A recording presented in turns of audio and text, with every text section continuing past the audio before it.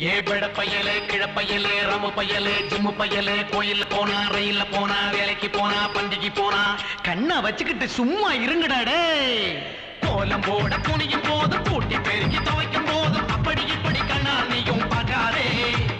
வேலை பார்க்க போதும் போதும் வெளியே கிளம்பி போதும் போதும் முன்னையும் முன்னையும் மூச்ச விட்டு ஏங்காதே.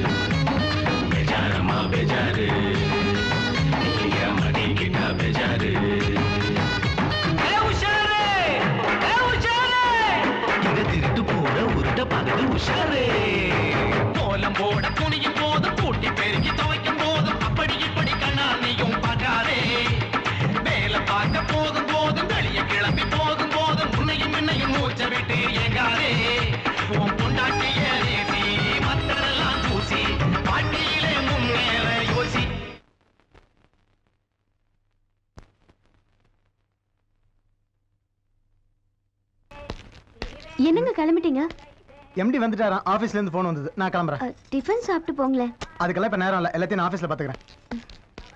என்னங்க? இன்னைக்கு மாங்கடம்மன் கோயிலுக்கு கூட்டிட்டு போறேன்னு சொன்னீங்களே. எப்போ வருவீங்க? சாரி மஞ்சு இன்னைக்கு என்னால வர முடியாது. வரதுக்கு எப்படியும் பதினோரு மணி ஆயிடும். நீ போயிட்டு வந்துரு. ம்?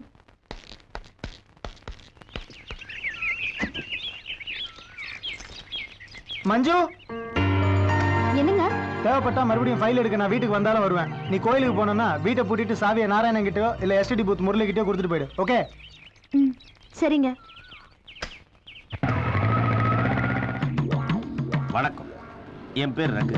உங்க புருஷன் அசோக்குடைய பெஸ்ட் ஃப்ரெண்டு இனிமே நானும் உங்களுக்கு ஃப்ரெண்டு தான். சாரி எனக்கு கல்யாணம் ஆயிடுச்சு. ஆனாலும் பரவாயில்ல. நீங்க இந்த காலனிக்கு வந்ததுல உங்க புருஷன் அசோக்கை விட எனக்கு தான் ரொம்ப சந்தோஷம். என்ன ரகு தனியா நின்று புலம்பிட்டு இருக்க அது ஒண்ணும் இல்ல இன்டர்வியூக்கு போறேன்ல அதான் ஒத்திகை பார்த்துட்டு இருக்கேன் இப்படி ஒத்திக்கு பார்த்துக்கிட்டே இரு இன்டர்வியூ அட்டன் பண்ணாத இந்த வாட்டி இன்டர்வியூ மட்டும் இல்ல வேலையும் செய்ய போறேன் ஆமா நீ என்ன காலங்கத்தால கிளம்பிட்ட ஆபீஸுக்கு தான் சரி உன் வேலையை நீ பாரு என் வேலையை நான் பாக்குறேன் பாய் பப்பையா பாய் சொன்னேனோ இல்லையா எங்க அப்பா మంజు వస్తాను అశోక్ అశోక్ வாங்க ரகு எக்ஸ்கியூஸ் மீ அசோக் இல்லீங்களா? இல்ல அவர் ஆபீஸ் போயிருக்காரு. ஒண்ணு அந்த ஆபீஸ இங்க மாத்தணும். இல்ல உங்க வீட்டை அங்க மாத்தணும். அங்கயா இங்கயான்னு அவன் தான் முடிவு பண்ணணும். ஆமா அவன் எப்போ வருவான் எப்படி வருவான்? பதினோரு மணி ஆகும்னு சொல்லிருக்காரு அது இன்னைக்கு பதினோரு மணியா இல்ல நாளைக்கு பதினோரு மணியான்னு தெரியல. சரி அப்ப நான் வரட்டுங்களா? ஆ, இருங்க. காஃபி சாப்பிட்டு போலாம். காஃபி? ஆ, ஐயோ நீங்க காஃபி சாப்பிடுங்கன்னு சொன்னது ஐம்புலங்களை அடக்கின. ஹார்லிக்ஸ் சாப்பிடுங்கன்னு சொல்ற மாதிரி இருக்கு. எக்ஸ்கியூஸ் மீ நான் ஒன்னு சொல்றேன். தப்பா எடுக்க மாட்டீங்களே. பரவாயில்ல சொல்லுங்க. ஒரு பொண்ணுக்கு சேலை கட்டினாதான் அழகுன்னு சொல்லுவாங்க. ஆனா அதே சேலையை நீங்க கட்டினா அந்த சேலைக்கே அழகுங்க. உங்களை பார்த்தா இப்ப எப்படி தெரியுமா இருக்கு? ஆல் இந்தியாவை கவுத்த அந்த ஐஸ்வர்யா ராய் மாதிரியே இருக்கீங்க. அது என்னமோங்க நான் அழகா இருக்கிறது இந்த காலனிக்கே தெரியுது. ஆனா என் வீட்டுக்காரருக்கு மட்டும் தெரிய மாட்டேங்குது. அவர் இப்படி ஒரு தடவை கூட என்ன வர்ணிச்சதே இல்ல. அவன் வேஸ்ட்டுங்க. ரசன கட்ட பையன். குறுந்தாடி வச்சா கோன் பண்ண குரோர் பத்தி அமிதாப் பச்சன் நினைப்ப? ஊறி போன வாழக்கா பஜ்ஜி மாதிரி இருக்கான். ஏங்க இதெல்லாம் நான் சொன்னா அவன்கிட்ட சொல்லிடாதீங்க. ஒரு டைப்பான ஆளு என்ன அடிச்சுடுவான். உங்களுக்கு விஷயம் தெரியணுமேன்ற ஒரு நல்ல எண்ணத்துல சொன்னேன். வரட்டுங்களா? சரிங்க. நாய்கிட்ட தேங்காய் மாட்டினா உருட்டிட்டே தான் இருக்கும். நிறைஞ்ச அமாவாசையை பார்த்து உடைச்சிட வேண்டியதுதான்.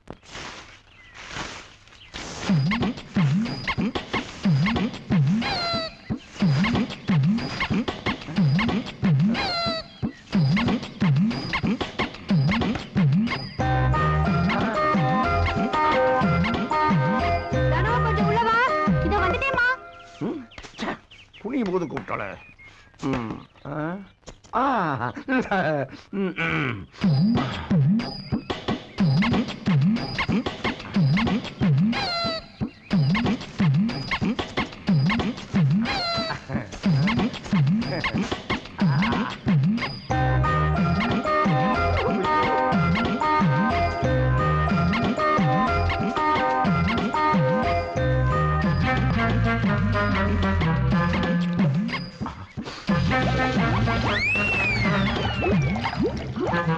தானு என்னம்மா?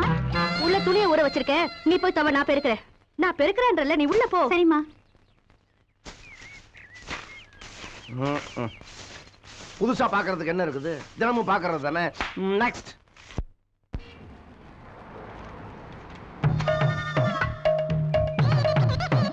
எப்படிடா? எப்படிடா இவ்வளவு அழகு உனக்கு? பிரம்மன் ஓவர் டைம் பண்ணி உன்னை செஞ்சிருக்கான்னு நினைக்கிறேன். டேய் அழகு. அழகுங்கிற வார்த்தையே தமிழ்ல உன்னை பார்த்ததுக்கு அப்புறம் தான்டா கண்டுபிடிச்சிருக்காங்க. என்ன அழகா இருந்து என்ன பிரயோஜனம்? பாலச்சந்திர சார் மட்டும் உன்னை கரெக்டான நேரத்துல பார்த்திருந்தாருன்னா super star supreme star mega star இந்த மூணு பேரும் சேர்ந்த ஒரு அல்டிமேட் ஸ்டாரா நீ ஆயிருப்படா. என்ன பண்றது? அவர் இது வரைக்கும் பார்க்கல.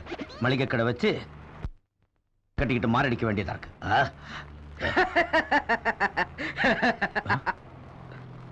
என்னடா? நக்கலா? அரைஞ்சனா அழகாயிடுவ ஜாக்கிரதை. வாங்க வாங்க. பெங்களூர் தக்காளி இருக்கா? இருக்க இருக்கு. சரி நல்ல பழமா பார்த்து அரை கிலோ கொடுங்க. டேய் அக்காவுக்கு நல்ல பழமா பெங்களூர் தக்காளி. அரை கிலோ எடை போடாம கொடு. போட. என்ன இப்ப எல்லாம் இந்த மாதிரி அடிக்கடி கடப்பக்கம் வர்றதே கிடையாது. நீங்க வராம ரொம்ப டல்லா இருக்கு ரொம்ப பிஸி டைமே இல்ல. இருந்தாலும் வரணும்ல.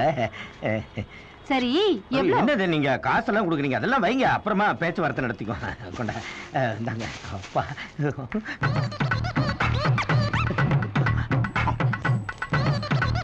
ஏங்க உங்க பர்ஸ்ல இருந்து அஞ்சு ரூபா காயின் கீழே வந்துருச்சு எடுத்துங்க.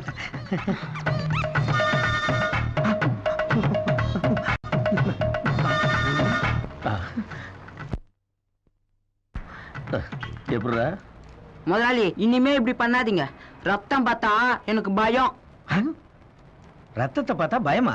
என்னடா உருளைக்கிழங்கு என்ன உளர்ற நீங்க இப்படியே பண்ணிட்டு இருந்தீங்கன்னா என்னைக்காவது எவனாச்சும் ஒருத்தன் கத்தி எடுத்துட்டு வந்து உங்களை போட்டு தள்ளிடுவான். இது ஏன் முன்னாடி நடக்கும். அப்புறம் உங்க உடம்புல இருந்து ரத்தம் வரும். அந்த ரத்தத்தை பார்த்து எனக்கு மயக்கம் வரும். அதான் சொன்னேன். ரத்தம்னா எனக்கு அலர்ஜி மவனை அந்த அளவுக்கு யோசிக்க ஆரம்பிச்சிட்டியா? போற போக்குல நான் தான் முதல்ல ரத்தத்தை பார்க்க போறேன்னு நினைக்கிறேன். என்னங்க? நான் மேகலா வீட்டு வளகாப்புக்கு போறேன். வர்றதுக்கு சாயங்காலம் ஆகும் இன்னைக்காவது வீட்டுக்கு சீக்கிரமா போய் சேருங்க. அப்புறம் நீங்க கடை சாத்திட்டு வரும்போது மணி டெய்லர்ட்ட கொடுத்துருக்க என் பிளவுஸ் பாவாடை எல்லாம் வாங்கிட்டு வந்துருங்க. என்ன? புரியுதா? ஓ சரி. நீ போ.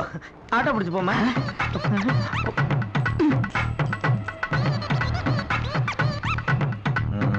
ஆண்டி உங்க பர்ஸ்ல இருந்து அஞ்சு ரூபா காயின் விழுந்துச்சு. எடுத்துக்கங்க.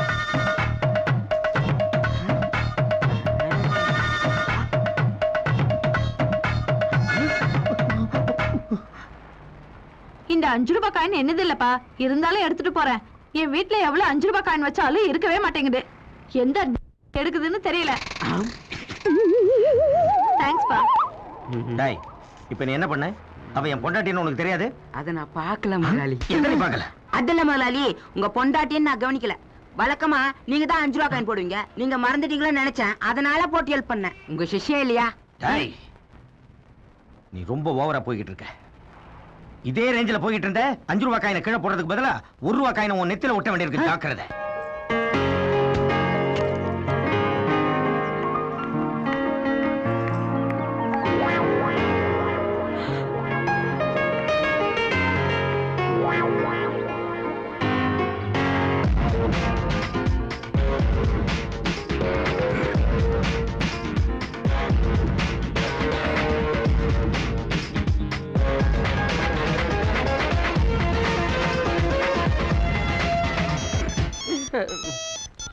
ஹலோ குரு என்னப்பா ரொம்ப நாளா ஆளையும் காணோம் போனையும் காணோம்? குரு இப்போ எனக்கு ஒரு புது ப்ராஜெக்ட் போயிட்டு இருக்கு புது ப்ராஜெக்டா ஆமா குரு ஒரு second hand party first class figure கொண்டாந்து இருக்கான் அதுக்கான முயற்சியில மும்மரமா இருக்கேன். முயற்சி பண்ணா மட்டும் பத்தாது ரகு. முடிக்கணும். உன்ன மாதிரி ஆளுகளுக்கு இல்லீகலா அட்வைஸ் பண்ணதான் வாழ்ந்துகிட்டு இருக்கான் இந்த குரு. தெரியாதா குரு இயங்குறது நான். எப்பவுமே இயக்குறது நீங்க தானே. வந்துடுறேன் குரு. பேபி அக்கா? பேபி அக்கா? வா மஞ்சு என்ன திடீர்னு? ஒண்ணு இல்லக்கா. நான் கொஞ்சம் வெளியே போறேன். என் வீட்டுக்கார் வந்து அந்த சாவி கொடுத்துருங்க. ஐயோ நாங்களும் ஒரு ஃபங்க்ஷனுக்கு வெளியே போறோம். அப்படியா? ஆமா மேகலா விட்டு வளகாப்பு கொடுக்க சொன்னாங்களா? சொன்னாங்க ஆனா போக முடியல. நாங்களும் தான் போகணும்னு இருந்தோம். கடைசி நிமிஷத்துல வேற ஒரு வேலை வந்துடுச்சு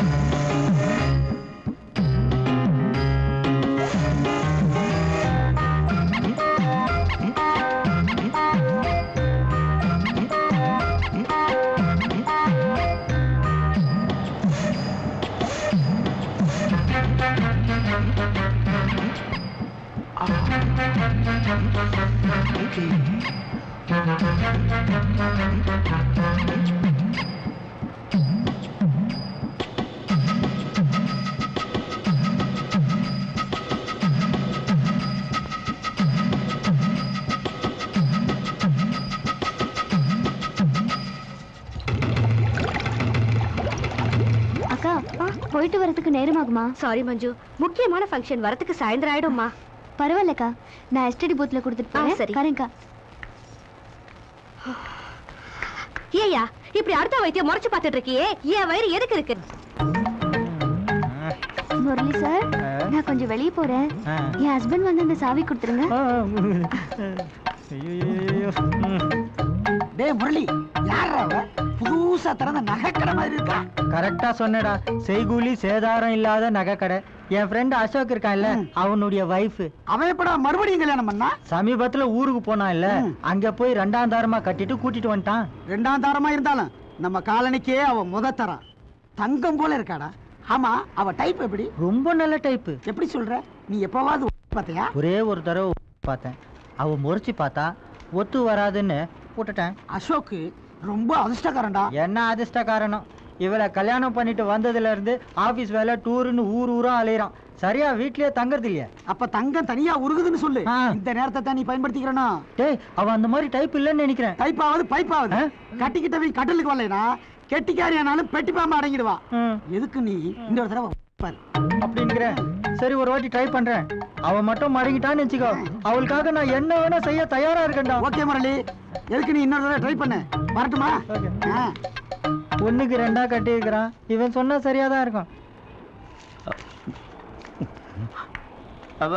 போ உள்ள போய் உடச்சக்கடலை மூட்டையை பிரிச்சு ஒவ்வொன்றா எவ்வளவு இருக்குன்னு எண்ணு போ. வாங்க. என்ன வேணும்? தேங்காயும் ஊதுபத்தி பாக்கெட்டே கொடுங்க. ஏய் கேக்குறாங்கல்ல? என்ன அங்கிருந்து பாத்துக்கிட்டு இருக்க எடுத்து கொடு. அன்னைக்கு புடலங்காய் வேணும்னு கேட்டீங்களா? இன்னைக்கு ஃப்ரெஷ்ஷா தோட்டத்துல இருந்து பறிச்சுட்டு வந்திருக்கேன். எடுத்துட்டு போறீங்களா? இல்லைங்க. நான் இப்ப கொஞ்சம் வெளியே போறேன். சாயந்தரம் வந்து வாங்கிக்கிறேன். என்னங்க நீங்க இப்படி சொல்றீங்க? சாயங்காலம் நீங்க எதுக்கு வந்து அலையணும் நானே ஃப்ரிட்ஜில் வச்சிருந்து ஃப்ரெஷ்ஷாக கொண்டாந்து கொடுத்துறேன். எடுத்துங்க. எவ்வளோங்க ஆச்சு? விலையை பத்தி என்னங்க? நான் சாயங்காலம் வீட்டுக்கு வரும்போது வாங்கிக்கிறேன். அசோக் வீட்டுல இருக்கானே? இல்லைங்க. அவர் ஆபீஸ் போயிருக்காரு. நான் வரேன். வாங்க. அதைத்தான் நாங்கள் எதிர்பார்த்தோம்.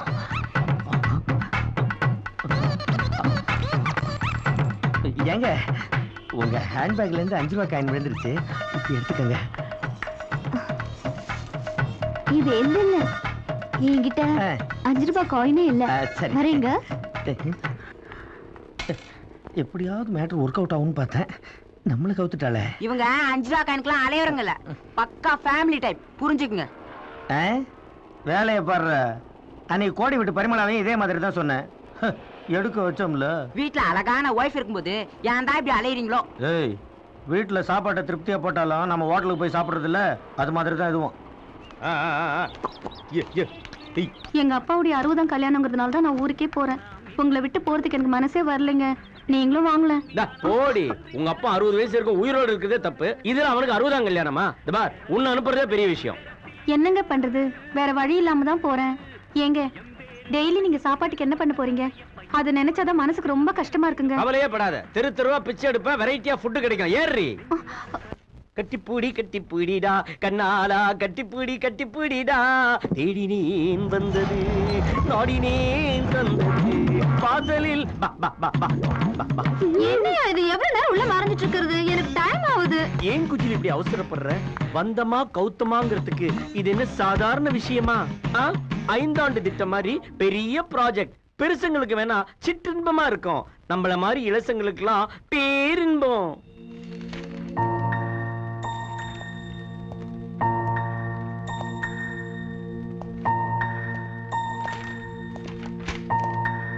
வா அசோக். மஞ்சு எப்படி இருக்கா? இருக்கா சார். அவ நல்லா இருக்கான்னு. உன்னால கூட சொல்ல முடியலல்ல? வார வாரம் டூரு அது இதுன்னு பொய் சொல்லிட்டு நீ இங்க வந்து தங்கிட்டா. அவ எப்படிப்பா நல்லா இருப்பா? எனக்கு நினைவு தெரிஞ்ச நாள்ல இருந்தே நீங்க தான் எல்லாத்துக்கும் எனக்கு வழிகாட்டி. உங்களை பார்த்தாலாவது என் மனசுல இருக்கிற பாரம் குறையுமேன்னு தான் நான் இங்க வரேன். மத்த நாள்னா பரவாயில்ல. இன்னைக்கு கூட வா. இன்னைக்கு உனக்கு பிறந்த நாள்ப்பா இன்னைக்கு என் பிறந்த நாள் மட்டும் இல்ல நான் முதல் முதலா எப்ப நான் பார்த்த நாளும் இதுதான். சரி அதை விடு. டயர்டா இருக்க. என்ன சாப்பிடுற? எனக்கு எனக்கு கொஞ்சம் தனியா இருக்கணும் சார். ம்.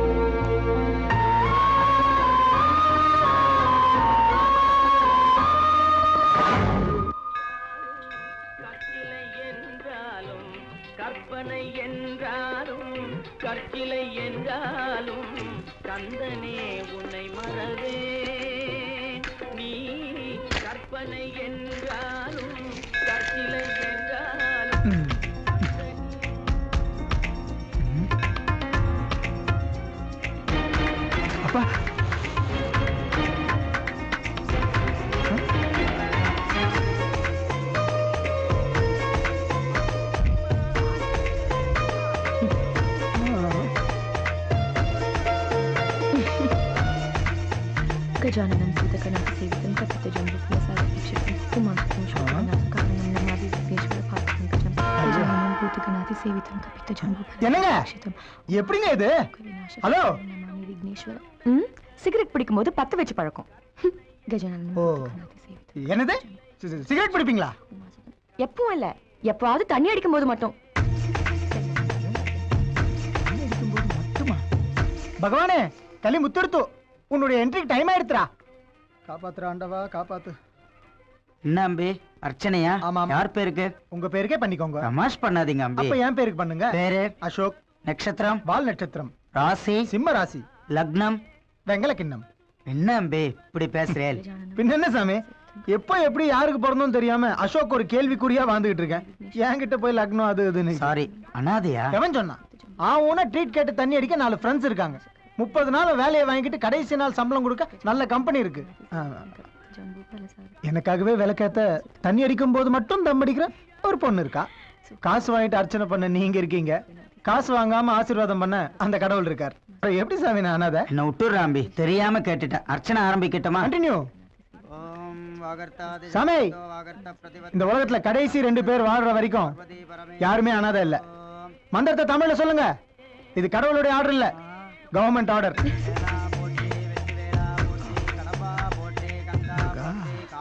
Muruga.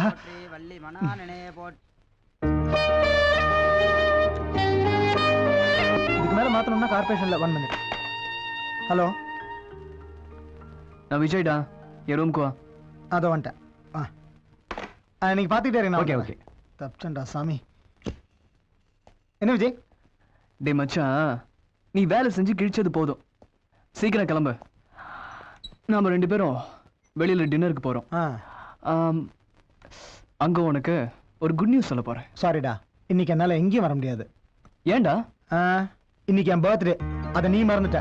O my god wish you very happy birthday இது காலையே சொல்லிருக்க வேண்டியதானே சரி அதுக்கு சேர்த்து ஜமாச்சிரும் வா போலாம். ம், இல்ல விஜய்.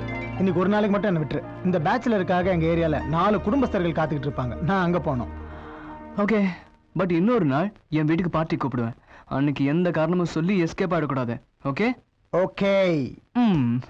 ஆமா ஏதோ குட் நியூஸ் சொல்றேன் நீ. என்ன? மச்சான் உன் சீட்டு கிழிய போகுது என்னடா சொல்ற? கூடிய சீக்கிரம் என் சீட்டுக்கு நீ வர போற வாவ் அப்ப நீ? ஃபாரின்ல ஒரு புது கான்ட்ராக்ட கம்பெனி எடுத்திருக்காங்கல்ல. ஆமா. அங்கே நான் அனுப்பலான்னு எப்படிக்கு ஒரு ஐடியா ஏய் கங்க்ராச்சுலேஷன்ஸ் மச்சான். தேங்க்ஸ் ப்ரமோஷன் வித் ஃபாரின் அசத்து. அப்படியே ஒரு வெள்ளக்கார பொண்ணை பார்த்து கல்யாணம் பண்ணிட்டு செட்டில் ஆயிடு அதுக்கு முன்னாடி என் தங்கச்சிக்கு கல்யாணம் பண்ணோம். அதுக்கு ஒரு நல்ல வரனா அமையணும். உனக்கு ஒரு தங்கச்சி இருக்கல்ல? ம், கவலைப்படாத. உன்னுடைய நல்ல மனசுக்கு அவளுக்கு ஒரு நல்ல வர்ணம் அமையும். நான் என் சேருக்கு போறேன். ஓகேடா.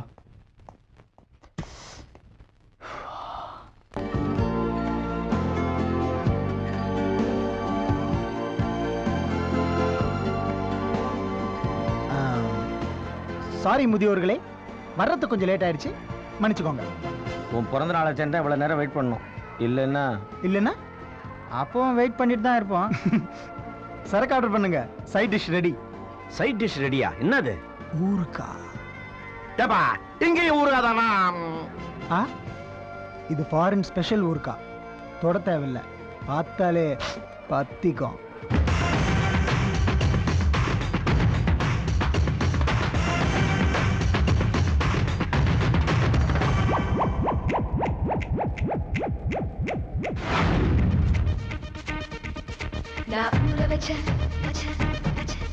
நான் ஊற வச்ச வச்ச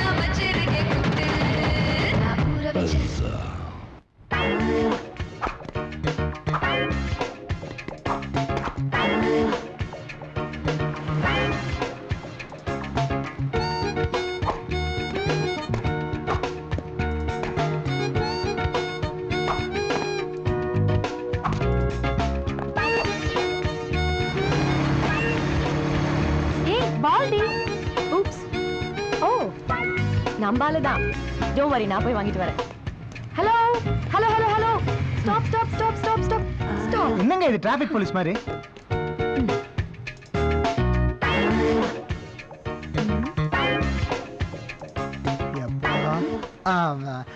உங்களை மதுரை சிட்டில டிராபிக் போலீஸ் இருந்தா அவ்வளவுதான். கிரீன் சிக்னல் விழுந்தாலும் எவனும் நகராம ஃப்ரீஸ் ஆயிடுவான்.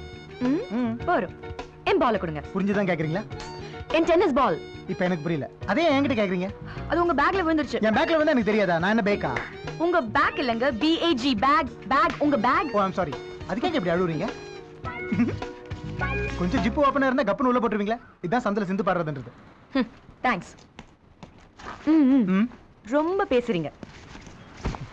ஹலோ ஆ? நான் எங்கங்க பேசினேன்? உங்களை பார்த்ததும் ரேடியோ மிர்ச்சி சுவிட்ச் மாதிரி தானா வருது. அன்னைக்கு ஃபுல் ட்ரெஸ்ல பார்த்தேன். சூப்பரா இருந்தீங்க. இன்னைக்கு ஹாஃப் ட்ரெஸ்ல இன்னும் சூப்பர். இப்படியே குவார்டர் கட்டிங்னு போனீங்கன்னா சூப்பரோ சூப்பர் நான் என்ன டாஸ் மேக்கா pass mark crazy on or before twenty fifth பெருசு என்ன இது? பேங்க்ல இருந்து நோட்டீஸ் வந்திருக்குது. நாளைக்கு மத்தியானம் பன்னெண்டரை மணிக்குள்ள ஒன்றரை லட்சம் ரூபாய் கட்டலன்னா வீடு ஏலத்துக்கு போயிடுமாமே? ஏன்? ஒரு வருஷமா டியூ கட்டல. நான் இப்ப வந்தது என் வீட்டை ஏலத்துக்கு எவனோ ஒருத்தன் எடுத்து நான் அசிங்கப்படுறதை விட அதுக்கு முன்னாடி நீ ஒன்றரை லட்சம் ரூபாயை பேங்க்ல கட்டி அந்த வீட்டு உன் பேர்ல மாத்திக்க. நான் கையெழுத்து போட்டு கொடுத்துட்றேன். பெருசு பெருசு. நான் சொந்த வீடு வாங்குறேன் வாங்காம போறேன். என்னை பத்தி கவலை விடு. பேச்சுலர் தானே. ஆனா நீ வாடகை வீட்டுக்கு வந்துடக்கூடாது. உன்னை நான் வரவும் விட மாட்டேன். கவலைப்படாத. நாளைக்கு மத்தியானம் தானே. கட்டிடலாம்.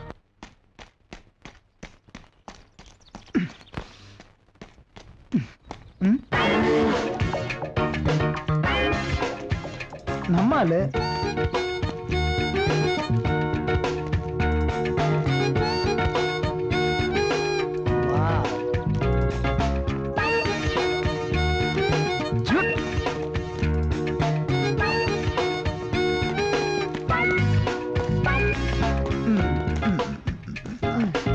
மார்னிங் ஹலோ என்ன?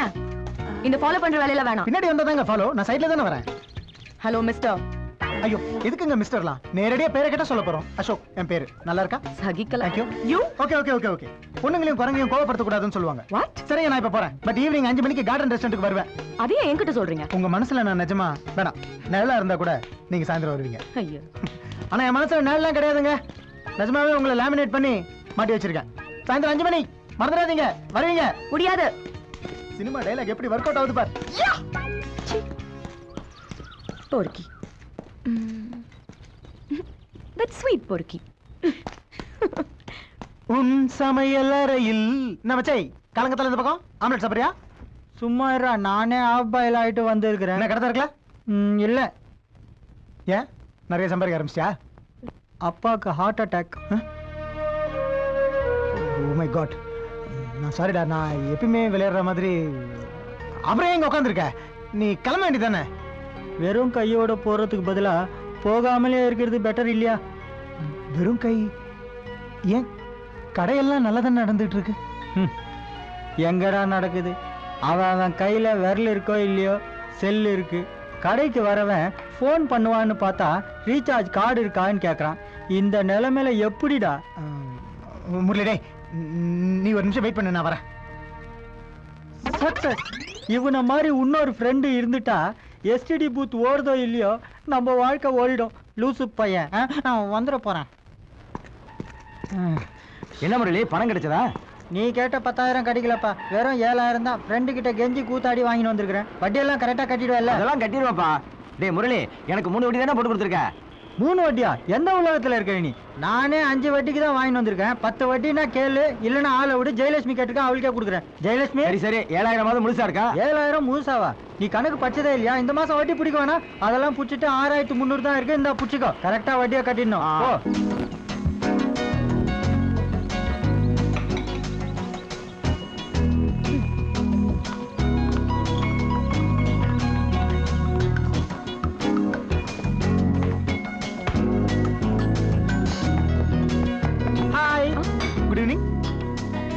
பரவாயில்லையே உங்க மனசுல கூட நான் இருக்கேன் போல இருக்கு?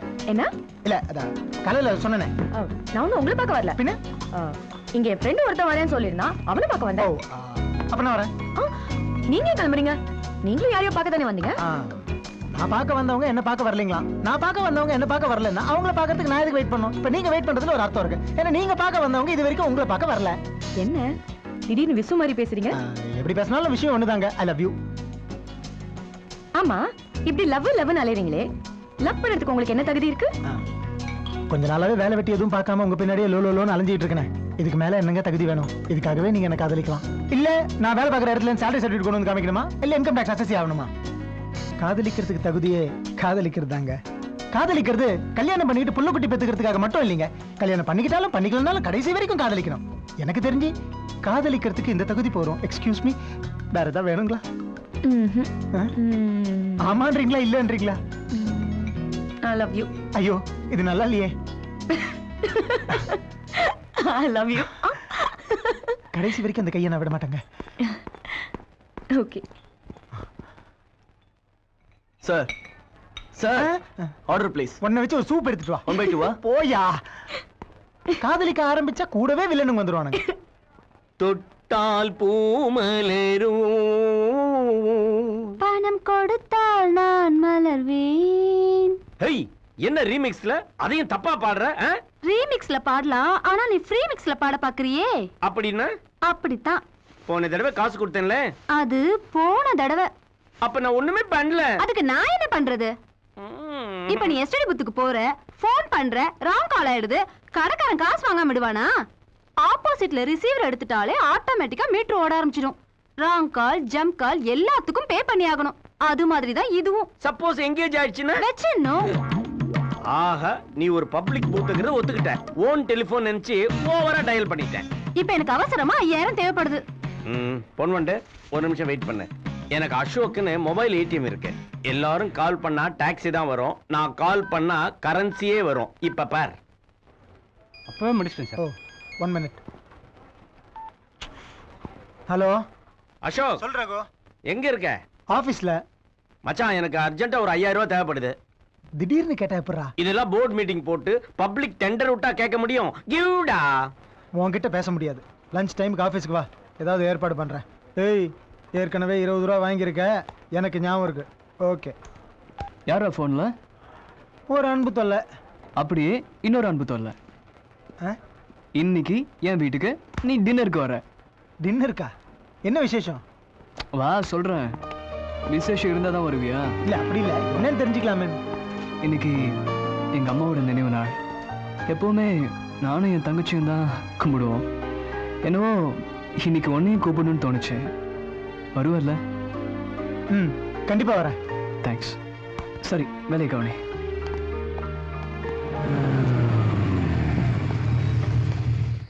ஹே மச்சான். நல்ல வேளை கரெக்ட் டைம்க்கு வந்த. இல்லைன்னா நான் வெளியே கிளம்பி போயிருப்பேன். போயிடுவியா? என்ன வர சொல்லிட்டு எங்க போயிட்டு இருக்க அவசரமா எம்டி கூப்பிட்டாரு. நான் போயிட்டு வந்துடுறேன். ஓகே அப்ப நானும் கிளம்புறேன். ஏய் நீ எங்க கிளம்புற? வீட்ல தங்கச்சி இருக்கா? சமையலும் ரெடியா இருக்கு. சாப்பிட்டு பேசிட்டு. என்னை விட அவ நல்லா பேசுவா. வெயிட் பண்றா. நான் வந்துடுறேன். சமையல்லாம் ரெடின்னா ஒரு வாசனையும் காணும். தயிர் சாதமா இருக்குமோ? ஹாய் நீ எப்படிங்க விஜய் தங்கச்சி உன் ஃப்ரெண்டா இல்ல. விஜய் தங்கச்சி அட பரா கும்பிட போன தெய்வம் கொரியர்ல வந்த மாதிரி. எக்ஸ்கியூஸ் மீ கொஞ்சம் கையெடுங்க நல்ல சான்ஸை மிஸ் பண்ணிட்டேன். முன்னாடியே தெரிஞ்சிருந்தா அடிக்கடி வர போக இருந்திருப்பேன். இப்ப வந்ததுக்கே ஏண்டா வந்தோன்னு ஃபீல் பண்ண போறேன் என்ன நீ நம்பியார் மாதிரி பண்ணிட்டு இருக்க? இன்னும் ஒண்ணுமே பண்ணல. எல்லாம் இனிமேதான். எப்படி எப்படி? அன்னைக்கு என்ன சொன்ன? என்ன சொன்ன? காதலிக்கிறது கல்யாணம் பண்ணி புள்ள பெத்துக்கிறதுக்காக மட்டும் இல்லையா? பின்ன பூஜை பண்ணறதுக்கா? இப்ப சொல்ற கேட்டுக்கோ. காதலிக்கிறதே கல்யாணம் பண்ணியோ கல்யாணம் பண்ணிக்காமையோ புள்ள பெத்துக்கிறதுக்காக தான் லவ்ங்கிறதே இனப்பெருக்கிறதுக்கான இன்னொரு ரூட் அது என்ன நீ? தனியா வந்திருக்க பையன் தப்பு தப்பா பேசுற? ஐய தோடா. ஏன்? நீங்க மட்டும் தான் தனியா இருக்கிற வயசு பொண்ணுகிட்ட தப்பு தப்பா பேசி? கெடுப்பீங்களா? மிஸ் அப்பனா இதெல்லாம் ரொம்ப டூ மச் எது டூ மச் கல்யாணத்துக்கு முன்னாடி ரிசப்ஷன் வச்சுக்கலாம். ஃபர்ஸ்ட் நைட் வச்சு கூடாதா கல்யாணத்துக்கு அது ஓகே ஆனா காதல் ரொம்ப புனிதமானது. இது அதையும் தாண்டி புனிதமானது. சோ சோ பாப்பா கவுன் டவுன் ஸ்டார்ட்ஸ் ஐயோ ஆண்டவா ஜூஸ் பயந்தாங்குழி. என் சுவாசம் அவனோ உன் நெஞ்சில் விக்கி விக்கினே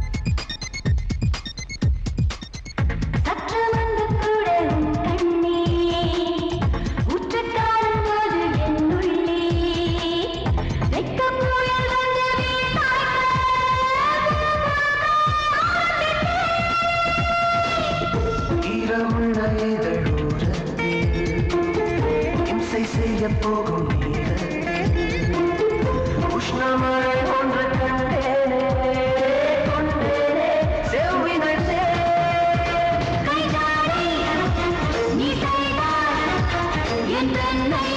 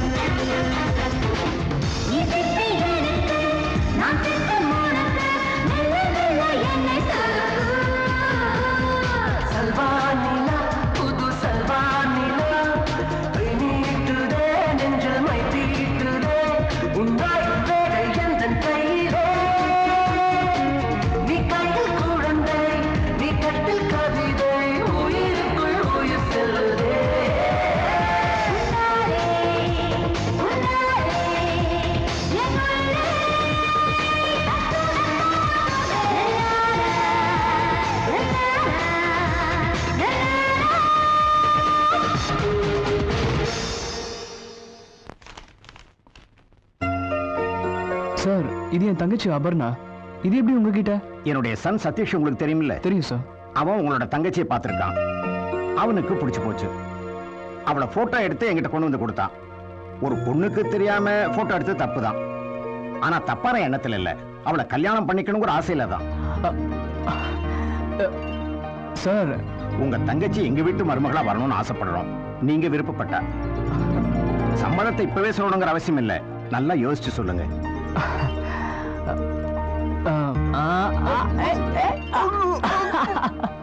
உன் வாக்கு பலிச்சிருச்சுடா என் தங்கச்சிக்கு பெரிய இடத்துல சம்மந்தம் கிடைச்சிருக்கு. வேற யாரும் இல்ல. நம்ம எம்டி பையன் சதீஷ் தான். நல்ல இடம் இல்ல. அதனால தான் ரொம்ப சந்தோஷமா இருக்கேன் யோசிச்சு பதில் சொல்லுன்னு சொன்னாரு. நான் யோசிக்கவே இல்லை. சரின்ட்டேன்.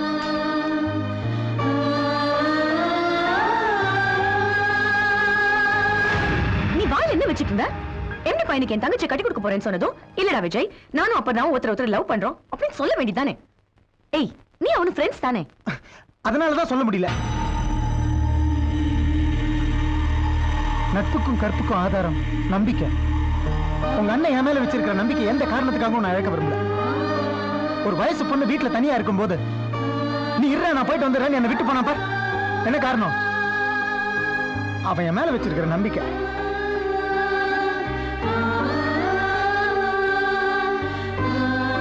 எனக்குள்ள இருக்கிற காதலை விட அவனுக்கும் எனக்கும் இருக்கிற நட்பு தான் முக்கியம்.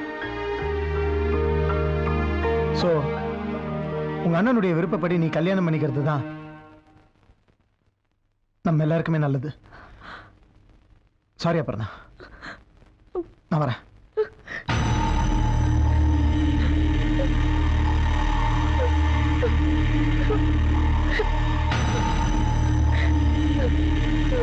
Thank you.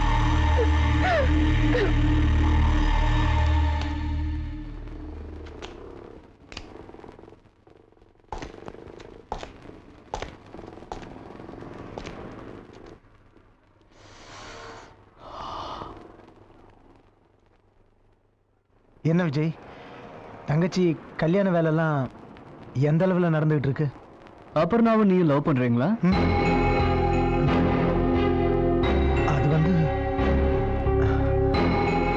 பண்றீங்களா இல்லையா? இல்ல. அது உன்- தங்கச்சி தெரியறதுக்கு முன்னாடி நான் ஏன்? என் தங்கச்சின்னு தெரிஞ்சா லவ் பண்ண மாட்டியா? இல்ல கல்யாணம் பண்ணிக்க மாட்டியா? ஏன்டா அன்னைக்கே எம்பி பொண்ணு கேட்டாருன்னு உன்கிட்ட தானே முதல்ல சொன்னேன். அப்பவே சொல்லிருக்க வேண்டியதானடா அதை எப்படிடா? நான் ஏன்? என் தங்கச்சிக்கு பணக்கார இடம் கிடைச்சதும் உன் காதலை தியாகம் பண்றதுக்கு முடிவு பண்ணிட்டியா? டேய் வசதியை வச்சு வாழ்க்கை கிடையாதுடா. இதோ ராத்திரி தூங்கினவங்க காலையில முழிக்கிறதுக்குள்ள சுனாமி வந்து சுருட்டிட்டு போயிடுச்சு. சேர்ந்து வாழ்றதுக்கு நல்ல மனசு இருக்கணும். அது உன்கிட்ட இருக்கு. என் தங்கச்சியும் உன் கூட தான் இருப்பா. டேய் எதுக்கு? நட்புக்கு நீ தந்த மரியாதைய உன் காதலுக்கு நான் தரேன்.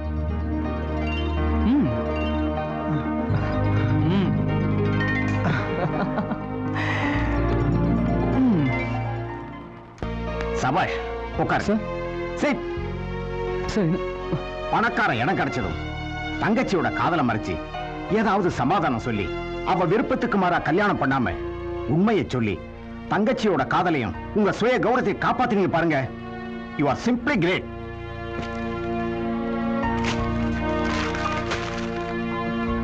சீக்கிரமே கல்யாணத்தை நடத்துங்க. நீங்க ஃபாரின் போக போறீங்க. நம்ம கம்பெனியோட ஃபாரின் பிரான்ச்சுக்கு நீங்க தான் இன்சார்ஜ்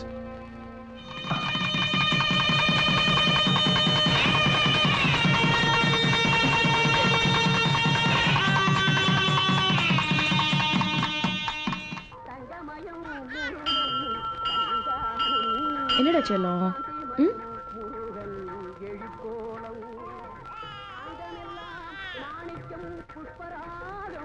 நேத்துக்கு தான் கல்யாணம் ஆன மாதிரி இருக்கு. அதுக்குள்ள ரெண்டு வருஷம் ஆயிடுத்து. ஏமா அபர்ணா வெளிநாட்டுல இருக்கிற உங்க அண்ணன் எப்படி இருக்கான்? ம் நல்லா இருக்காரு. அவருக்கு என்ன? பேச்சுலர் நன்னா இருக்கார். நான் தான் கல்யாணம் பண்ணிட்டேன். ஏய், மாட்டிக்கிட்டேன். யோ எவ்வளவு நேரம் காத்துக்கிட்டு இருக்குது? கை நீட்டி காசு வாங்கும் போது என்னையா சொன்ன? அது வட்டி கொஞ்சம் ஜாஸ்தியா இருக்குன்னு சொன்னேன். என்னயா நக்கலா? மாசம் மாசம் கரெக்டா பணத்தை கட்டுறேன்னு சொல்லி தானே வாங்கினேன் என்னடா அவசரம்னு ஃபோன் பண்ண? இது ஒண்ணும் இல்ல. மளிகை சரக்கெல்லாம் வாங்கி போடுறதுக்கு காசு இல்லைன்னு இவங்க கிட்ட வட்டிக்கு ஒரு 50000 ரூபாய் கடன் வாங்கியிருந்தேன். வியாபாரம் டல்லு. மூணு மாசமா வட்டி கட்டல. அதான் இப்ப கடனை கொடு இல்லைன்னா கடையை கொடுன்னு மிரட்டுறாங்க.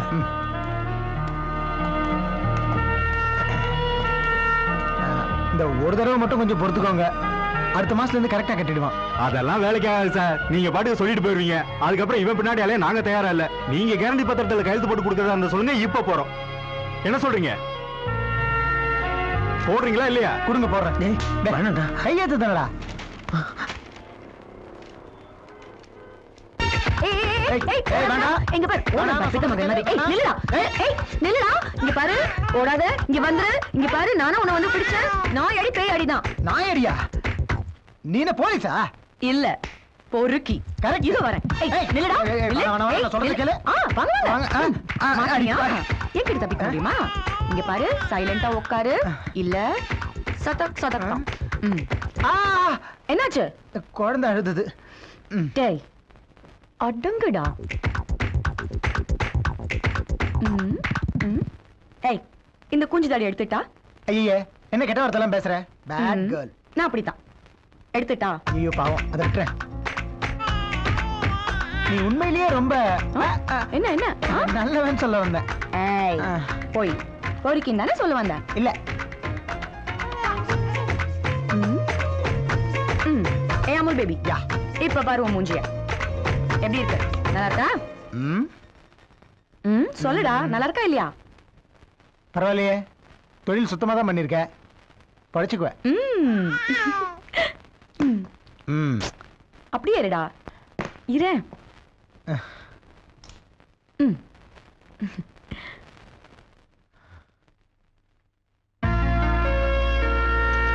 அபர்ணா? நான் ஒன்று சொல்லட்டுமா? நீ என் குழந்தைக்கு மட்டும் அம்மா இல்ல. எனக்கும் தான்.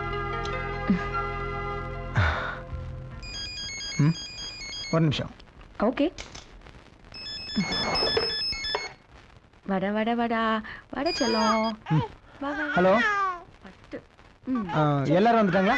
என்ன சரி மீட்டிங் அரேஞ்ச் பண்ணுங்க. நான் வந்துடுறேன் என்ன அசோக்? ஒரு அர்ஜென்ட் மீட்டிங்மா எம்டி ஊர்ல இல்ல. நான் கண்டிப்பா அட்டன் பண்ணணும்னு மேனேஜர் சொல்லியிருக்கார். இன்னைக்கு சண்டே பொறுப்பான பதவியில இருந்தா அப்படிதான். சாரிடா சரி. எப்படியா இருந்தாலும் இன்னைக்கு மத்தியான சாப்பாட்டுக்கு நீங்க கண்டிப்பா வரணும். ஓகே? ஓகே. நாங்க ரெண்டு பேரும் வெயிட் பண்ணிட்டே இருப்போம். சரியா?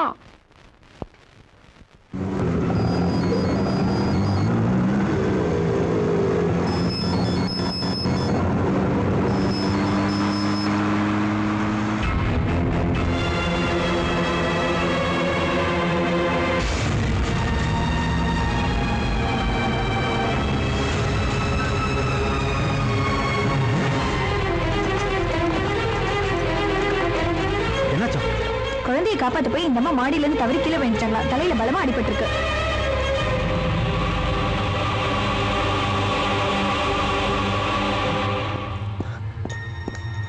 அப்புறம் அபர்ணா.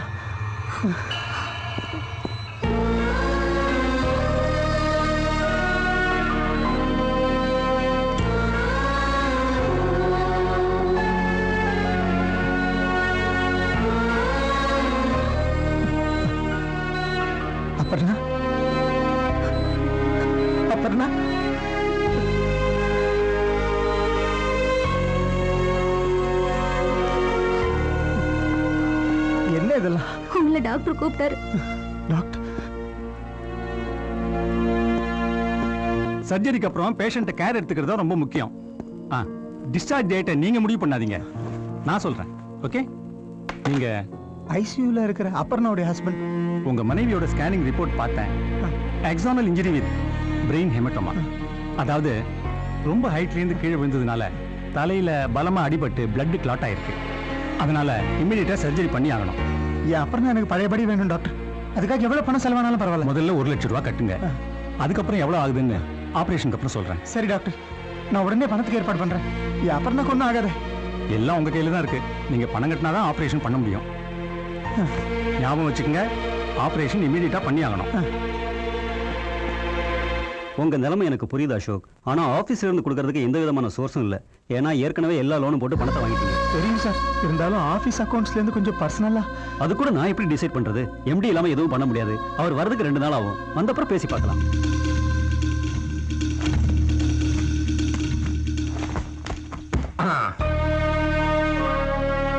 வா அசோக்.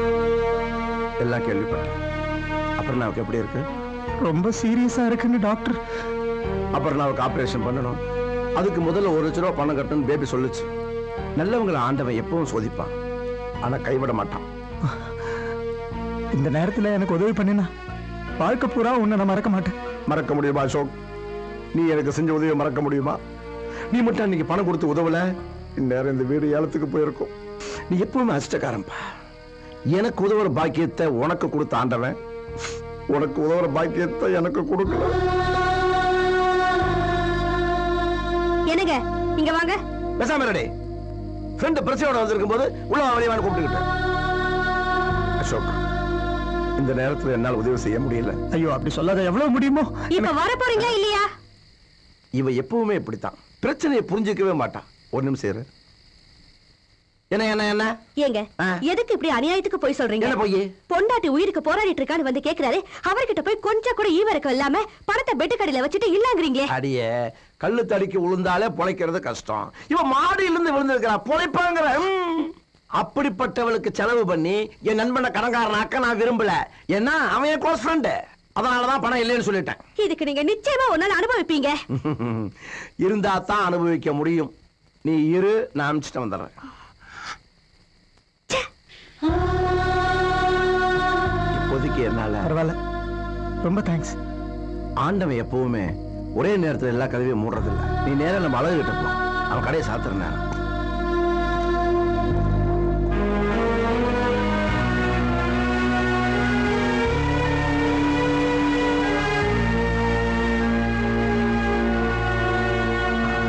அழகு இல்லையா தம்பி? இல்ல சார் வெளிய போயிருக்காரு.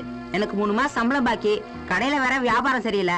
அதான் பணம் புரட்டிட்டு வெளிய போனாரு. எங்க போயிருக்காருன்னு தெரியல சார். சார் எனக்கு எங்கேயாவது நல்ல சம்பள தர இடமா பார்த்து சேர்த்து விடுங்க சார். எப்போ வருவான் அழகு?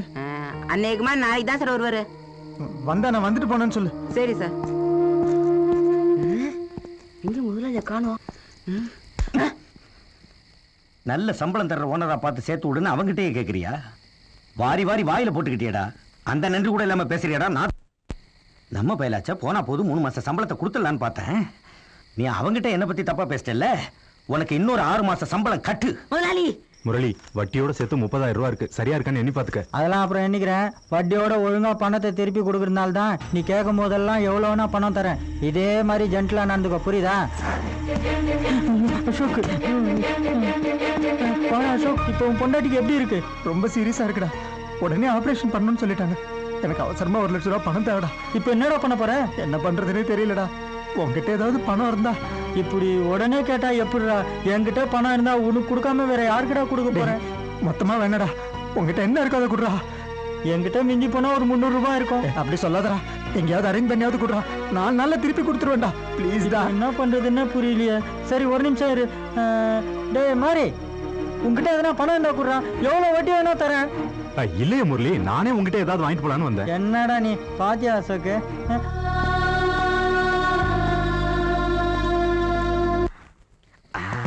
ஏ லாக்கு லாக்கு லாக்கு ஏ லாக்கு மேல லாக்கு அதுதான் லோ லாக்கு. லாக்கு வச்சா பாக்கு. ஏய் இது வரைக்கும் எனக்கு கடன் கொடுத்துக்கிட்டு இருந்த பேங்க் திடீர்னு திவால் ஆயிடுச்சு இப்ப கடனை வசூல் பண்ண என்ன தேடி வந்துட்டு இருக்கு. யாரு? உங்க ஃப்ரெண்ட் அசோக் தானே? பக்குவமா சொன்னாலும் பட்டுன்னு புரிஞ்சுக்கிட்டியே. ஏங்க என்ன கஷ்டமோ கொடுத்து உதவ வேண்டியது தானே? இருந்தா கொடுக்க மாட்டேனா? அப்ப இந்த பணம்? என் கேர்ள் ஃப்ரெண்டுக்கு ஜுவல்ஸ் வாங்க. நண்பரோட கஷ்டத்தை விட உங்களுக்கு கேர்ள் ஃப்ரெண்டுக்கு நகை வாங்குறது முக்கியமா? அந்த கேர்ள் ஃப்ரெண்டே நீதானே? அப்ப நகை தான் முக்கியம். ஒரு சூப்பர் நகை கடை இருக்கு. அங்க போய் உனக்கு ஒட்டியானம் ம், கழுத்து ஃபுல்லா நெக்லஸ் எல்லாம் வாங்கி தரேன்.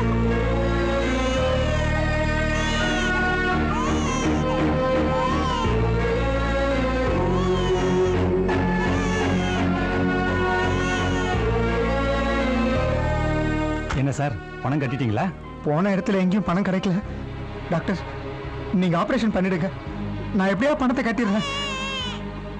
சாரி சார் அந்த ரிஸ்க் என்னால் எடுக்க முடியாது. பணம் கட்டினா தான் ஆப்ரேஷன் பண்ண முடியும். ஏற்கனவே லேட்டு நாளைக்கு எங்கள் மேலே தப்பு சொல்லக்கூடாது. இனிமே உங்கள் மனைவியோட உயிருக்கு நான் கேரண்டி கொடுக்க முடியாது. அவ்வளோதான்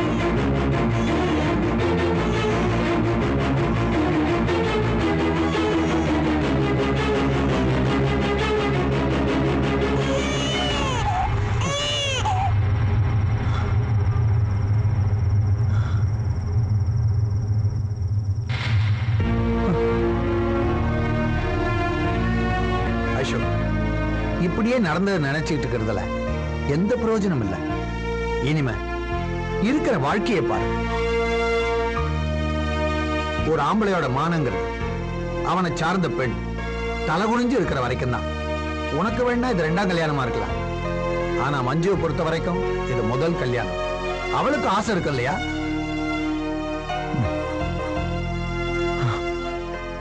உன் மனசை விட்டு அபர்ணாவை தூக்கி எறின்னு சொல்லல. அதே மனசுல இப்ப உன்னையே நம்பி வந்திருக்கிற மஞ்சுவுக்கு கொஞ்சம் இடம் கொடுன்னு சொல்றேன். அசோக் இது அட்வைஸ் இல்லப்பா. அக்கறை. உன் மேல எனக்கு இருக்கிற அக்கறை.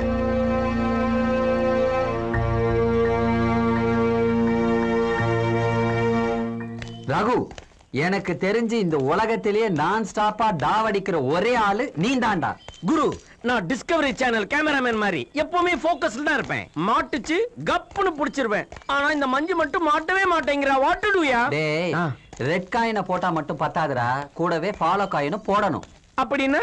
அவளை அடிக்கடி சந்திக்கிற வாய்ப்பை ஏற்படுத்திக்கிட்டே இரு. உன் செல்போனை அவ வீட்ல வச்சுட்டு வந்துரு.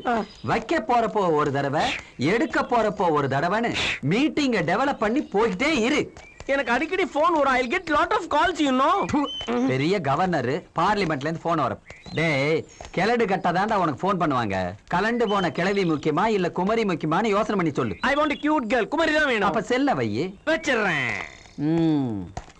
கூட்டாளி பொண்டாட்டி கிட்ட கூட்டணி வைக்க போறான். கூட்டணி ஏற்பட்டா?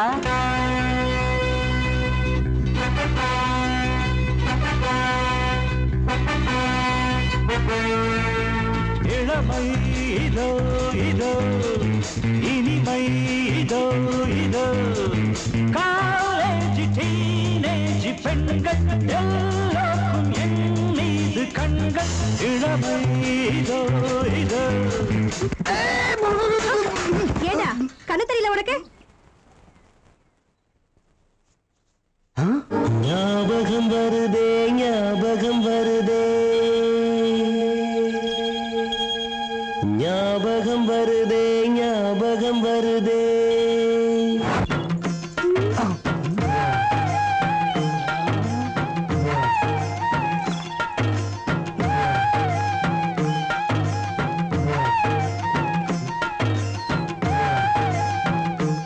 என்ன ஸ்கூலுக்கு போல? Cycle puncture. நீங்களும் கிளாஸுக்கு தானே போறீங்க? ஆமா. எதுக்கு கேக்குற? ரொம்ப வெயிலா இருக்கு. கொஞ்சம் ஒத்துழைச்சிங்கன்னா. உங்க நிழல்லையே ஸ்கூல் வரைக்கும் வந்துடுவேன்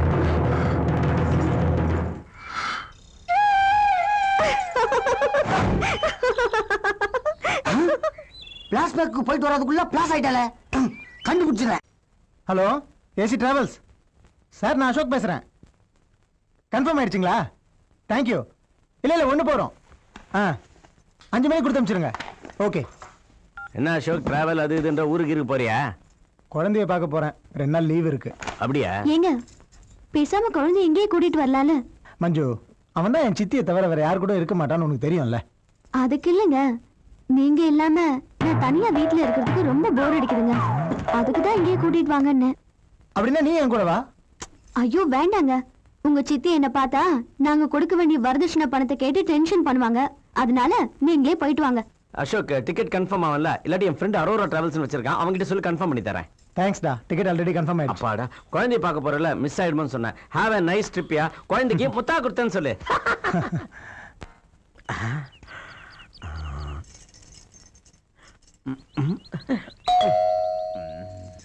திறந்துதான் இருக்கு. உள்ள வாங்க.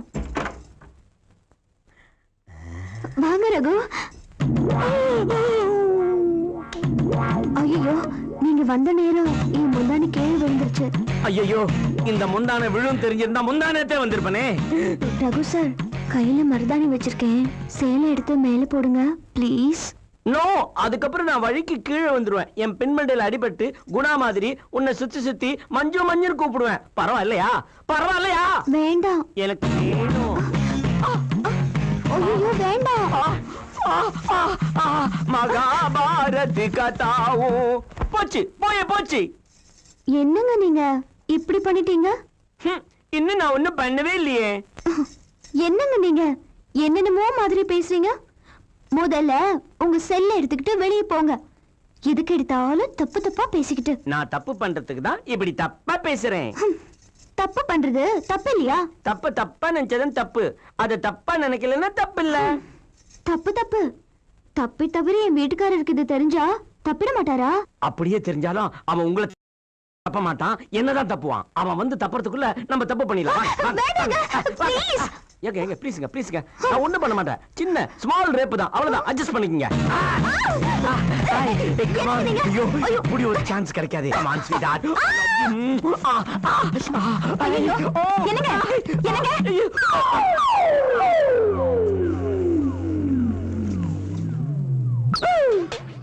ஏண்டி மூதேவி கனவுல கூட என்ன சந்தோஷமா இருக்க விட மாட்டியா ஏன் இங்க வந்த? இல்ல மஞ்சு வீட்டுக்கு போயிருந்தேன். அங்க உங்க செல்ல மறைச்சு வச்சுட்டு நான் செல்ல மறைச்சு வச்சு இல்லைங்க. மறந்து வச்சுட்டு வந்துட்டீங்களா? அவங்க கொடுத்தாங்க. ஏன் வீட்டுக்கு போனேன் சும்மாதான். சும்மாவா? சும்மா வீட்டுல துணி இருக்கு துவைச்சிட்டு வா.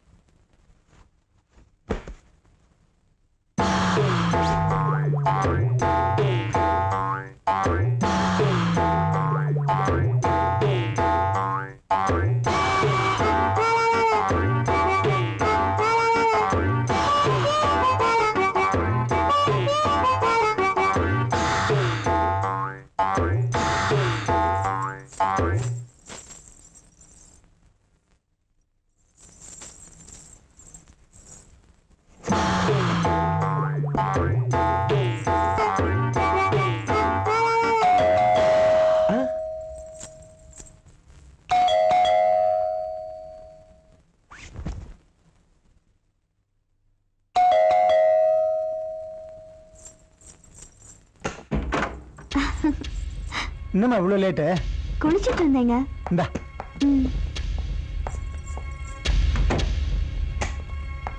மஞ்சு? எனக்கு ஃபோன் ஏதாவது வந்துச்சா? ஆ உங்க சித்தி ஃபோன் பண்ணாங்க. என்னம்மா? குழந்தை நல்லா இருக்கானா? முடிஞ்சா ஊருக்கு ஒரு தடவை வந்துட்டு போக சொன்னாங்க. தலைவலிக்கிற மாதிரி இருக்கு. காஃபி போட்டு குடிக்கிறியா? சரிங்க.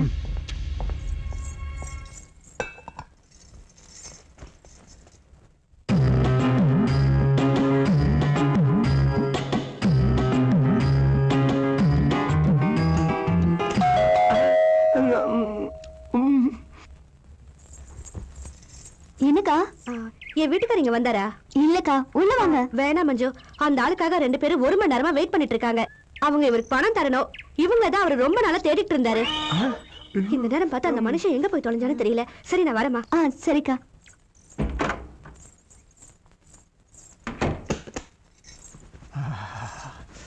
மஞ்சு? என்னங்க? என் சூட்கேஸ் எங்க இருக்கு? ஊஞ்சல் கடையில இருக்குங்க. எங்க? ஊஞ்சல் கடையில இருக்கு. ஆ.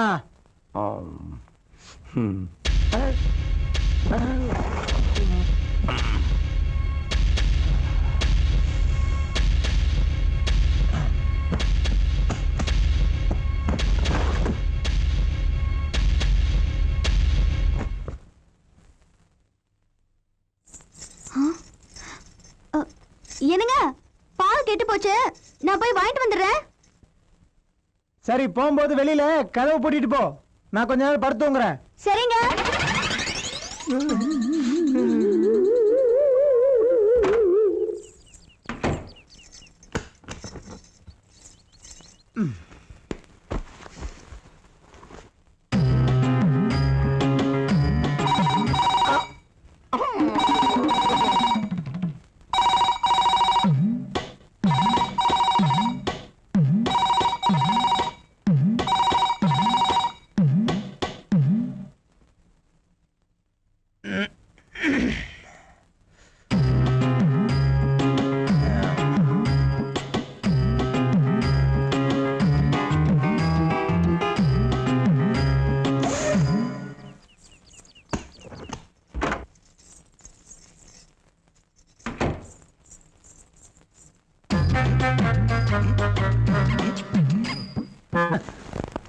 ஆமா வனஜா என்ன? நிரோத் பாக்கெட் ஒன்று கொடுங்க. நிரோத் பாக்கெட்டா என்ன காது அவுட்டா நிரோத் தான் சீக்கிரமா ஒன்று கொடு. இல்ல. வழக்கமா உங்க வீட்டுக்காரர் தானே வந்து வாங்குவாரு. இன்னைக்கு நீ வந்திருக்கியாங்கிறதுக்காக கேட்டேன் நான். ஆ. அவரு ஊர்ல இல்ல அதான் நான் வந்திருக்கேன். ஓஹோ. அப்போ நான் வீட்டுக்கு வரலாமா? ஐயோ எனக்கு எய்ட்ஸ் தான் பயம். முதலாளி உங்க மேட்ரு இந்த காலிக்கே தெரிஞ்சு போச்சு. ஏய் நான் நக்கல? இந்த புள்ளி ராஜாவுக்கு எய்ட்ஸ் வந்துருமா? இல்ல வர விட்டுருவேனா? எனக்கா எய்ட்ஸ்னு சொல்லிட்டு போறா? அவ புருஷன் ஊர்ல இருந்து வரட்டும். இந்த விஷயத்தை சொல்லி வில்லங்க பண்ணி அவளை விவாகரத்து பண்ண வச்சிடுறேன். டேய் மஞ்சு மேடம் வராங்க. நீ போய் வேலையை பாரு ஆ, வாங்க வாங்க. இந்தாங்க. லிஸ்ட்ல இருக்கிறது கொடுங்க. அவசரம் ஒண்ணும் இல்ல. பொறுமையா கொடுங்க. இது நேத்திக்கு கத்திரிக்காய் வேணும்னு கேட்டீங்களே எடுத்துங்களேன். வேண்டாங்க. வீட்ல இருக்கு. ஐயோ இல்ல. ஃப்ரெஷ்ஷா இருக்கு பிஞ்சா இருக்கு. எடுத்துங்க. கிலோ அஞ்சு ரூபா தான் இப்ப விலை இறங்கிடுச்சு. இப்போதான். நீங்க எடுத்துங்க மேடம். வேலை போற டேய்.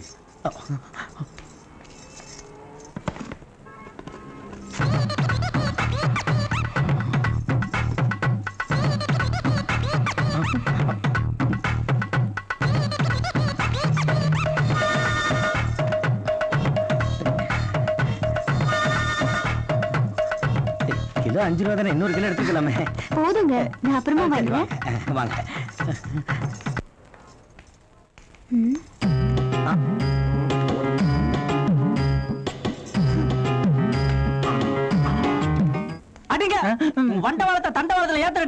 என்னென்ன கேன நினைச்சியா? பல்ல தட்டிவிடு வயிறு போட ராஸ்கல். தவற என்னையவே ஏமாத்த பாக்குறா. ஏன் சார் டென்ஷன் ஆகுறீங்க? அப்படி யார்கிட்ட கத்திட்டு இருந்தீங்க? ஏன் பண்டாடிட்டு தான். காலகத்தால போய் சொல்றா. அப்படி என்ன போய் சொல்லிட்டாங்க? சார் நேத்து நைட் நான் வீட்டுக்கு போனப்போ அவ வீட்ல இல்ல. எங்கடி போயிருந்தான்னு கேட்டேன். என் ஃப்ரெண்ட் மாலா கூட நைட் சார் சினிமாக்கு போனேன்னு எங்கிட்டே போய் சொல்ற சார். அதையே நீங்க பொய்யா நினைக்கிறீங்க? நீ என்ன புரியாதால இருக்கா? அந்த மாலா நேத்து நைட்டு போற என் கூடலயே இருக்கா? என்ன கேள போய் நினைச்சிட்டாளா? புடிக்கா சார். போய் கவனிச்சுக்கிறேன். நல்ல குடும்பம் தான் இது. ஃபோன் ஒண்ணு பண்ணிக்கலாமா? பண்ணிக்கங்க.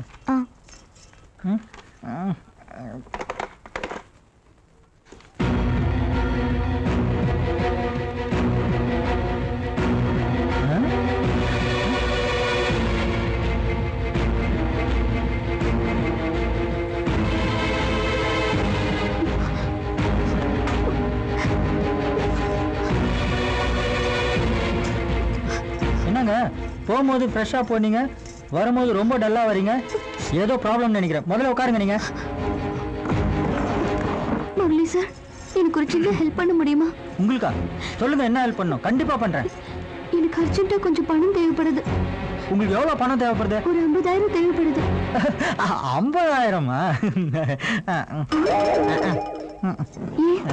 உங்களால ஏற்பாடு பண்ண முடியாதா? சே சே சே அதை பற்றியெல்லாம் ஒன்றும் இல்லை. ஆக்சுவலாக கொஞ்சம் பணம் குறையுது. உங்களுக்கு எப்போ பணம் தேவைப்படும்? இன்னும் ஒரு வாரத்துல தேவைப்படுது. ஒரு வாரம் தான் இருக்கா? கவலையப்படாதீங்க. எப்படின்னா அரேஞ்ச் பண்ணி கொடுத்துட்றேன். அப்புறம் நான் உங்ககிட்ட பணம் கேட்ட விஷயம் என் வீட்டுக்காரருக்கு தெரிய வேண்டாம். அவனுக்கு எங்க தெரியணும்? அவனுக்கு தெரியாமலேயே இந்த டீலிங்கை நம்ம முடிச்சுப்போம். நீங்கள் தைரியமாக போயிட்டு வாங்க. உங்களுக்கு எப்போ எது தேவைப்பட்டாலும் என்கிட்ட வாங்க. கண்டிப்பாக ஹெல்ப் பண்ணுறேன் நான் இருக்கிறேன் உங்களுக்கு. அப்பாடா இப்போதாங்க என் மனசுல இருக்கிற பாரம் குறைஞ்சிருக்கு. நான் வரேன். இங்கே இறக்கி வச்சுட்டு போறியே. Nine eight four one zero four.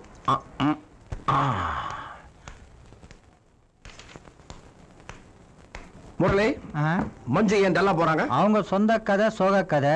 ஆமா நீ வந்த கதை? அது வேற ஒண்ணும் இல்ல.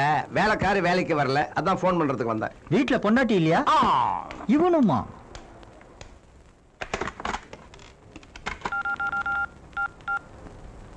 இத பாரு மஞ்சு.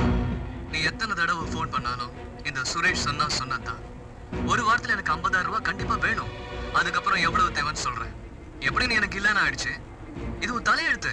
நீ கொடுத்தான் ஆகணும். நீ கொடுக்கலன்னா நாம ரெண்டு பேரும் பழகுனது ஒன்னா சுத்தினது எல்லாமே போட்டோ ஆதாரங்களோட என்கிட்ட மக்காம இருக்கு. காட்டிடுவேன்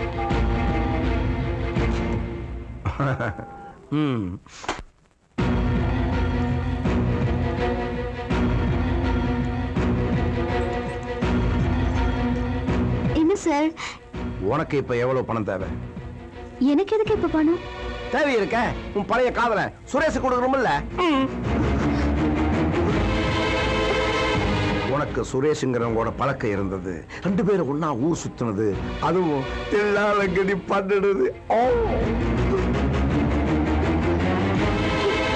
இந்த விஷயம் உங்களுக்கு எப்படி தெரியும்?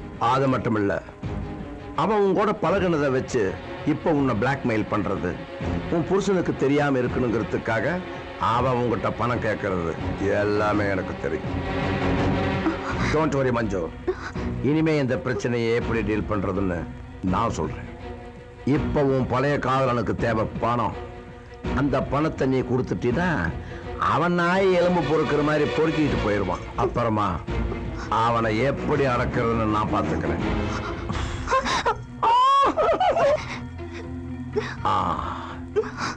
இனிமே இந்த விஷயம் உன் புருஷனுக்கு தெரியாம இருக்கணும்னா நான் சொல்றபடி நீ கேளு. அதுதான் உனக்கு நல்லது.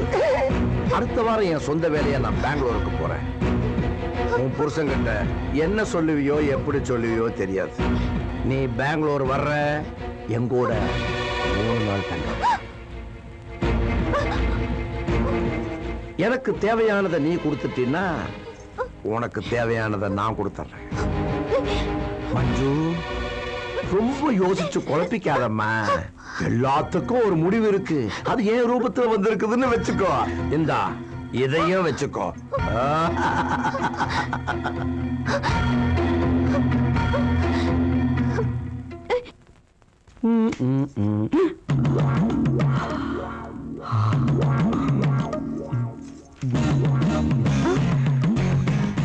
அசோக் இல்லையா? இருக்காரு. என்னங்க? வாங்க. உட்காருங்க. ஓகே.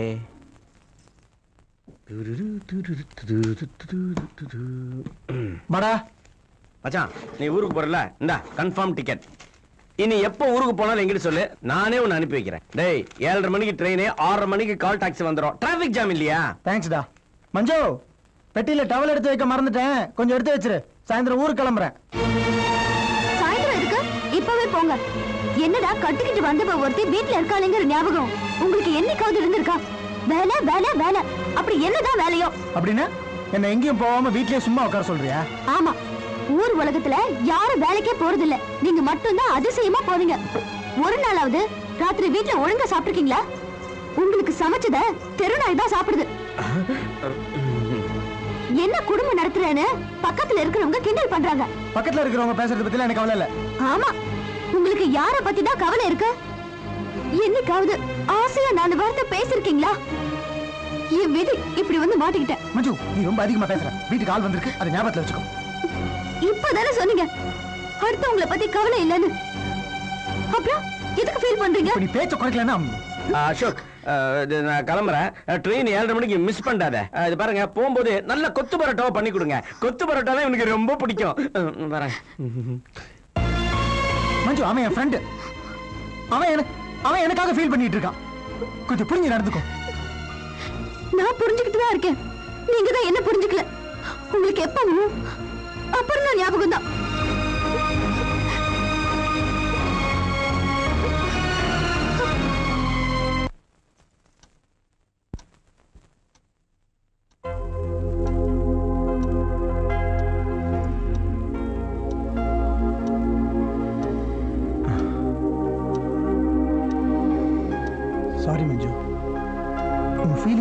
புரிஞ்சுக்காம நடந்துக்கிட்டேன் ஊருக்கு போற ப்ரோக்ராம் நான் கேன்சல் பண்ணிட்டேன். இனிமே ஒரு வாரத்துக்கு. நீ என்ன சொல்றியோ அதுபடி தான் நடப்பேன். போதுமா? என்ன இருந்தாலும் உங்களுக்கு அபர்ணாவோட ஞாபகம் போகவே இல்லை. இனிமே நான் அபர்ணா பத்தி நினைக்கவே மாட்டேன்டா. என் மஞ்சு பத்தி மட்டும்தான் நினைப்பேன். ம்? வா. எங்கேயாவது ஜாலியா வெளியில போயிட்டு வரலாம்.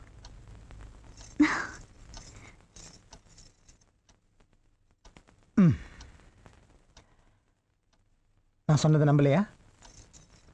உண்மைதான்டா. வா எங்கேயாவது ஜாலியா போயிட்டு வரலாம். வெளியே போனாதான் ஜாலியா. பின்ன? வீட்ல? வீட்ல? உங்க கூட? என் கூட? ஒன்னா இருக்கணும். இப்ப மட்டும் என்ன? தனியா இருக்கோம். ஒன்னா தானே இருக்கோம். இப்படி ஒன்னா இல்ல. பின்ன எப்படி?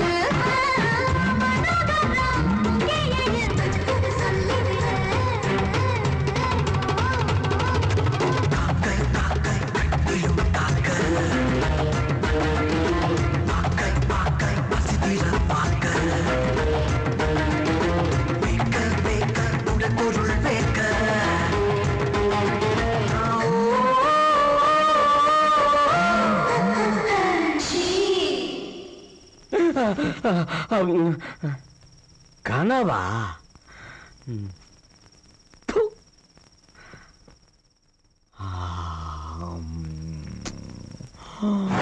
நாங்க மூணு அக்கா தங்கச்சிங்க. குடும்ப கஷ்ட காரணமா தான் ரெண்டாம் தாரமானாலும் பரவாயில்லன்னு இவருக்கு கட்டி வச்சாங்க. இவர் எப்பவும் தான் முதல் பொண்டாட்டி பத்தின ஞாபகத்திலேயே இருக்காரே தவிர பத்தி கொஞ்சம் கூட நினைச்சு பார்க்கறதாவே தெரியல. கல்யாணம் பண்ண நாள்ல இருந்து ஒரு நாள் கூட என்கிட்ட அன்பா பழகுனதே கிடையாது. நானும் மனுஷி தானே நானும் உப்பு காரம் திங்கிறவதான் எனக்குன்னு சில ஆசைகள் இருக்கும்ல.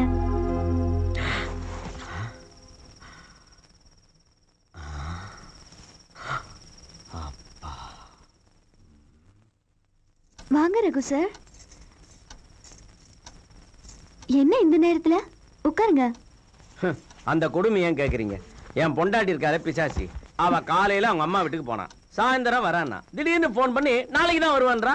ஏன் ஏன்னா என் மாமியார் இருக்காளே. என் பொண்டாட்டியுடைய அம்மா. அவ கோச்சிட்டு அவங்க அம்மா வீட்டுக்கு போயிட்டாலாம் இந்த பெருசுங்க ரவுஸ் தாங்க முடியலங்க. நல்லா ஜாலியா பேசுறீங்க. உங்களை மாதிரி என் வீட்டுக்காரர் ஒரு நாள் கூட என்கிட்ட இப்படி பேசினதே இல்லை. அவன் ஒரு கிறுக்கங்க. இந்த பாருங்க உங்களுக்கு எப்ப போர் வச்சாலும் என்ன கூப்பிடுங்க. நான் வந்து பம் சிக்கு பம்மே ஆடி காட்டுறேன்.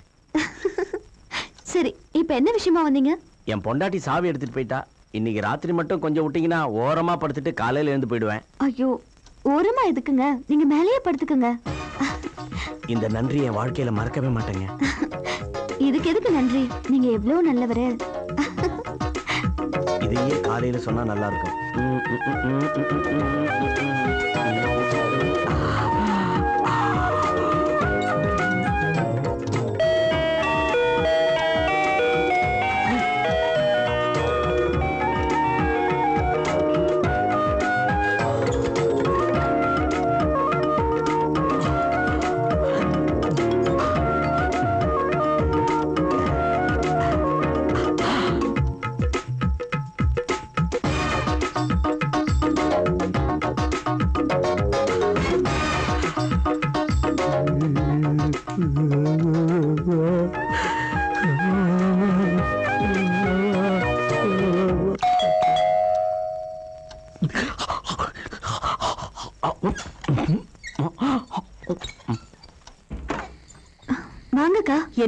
இன்னைக்கு பஜனைக்கு போகணும்னு சொன்ன மறந்துட்டியா?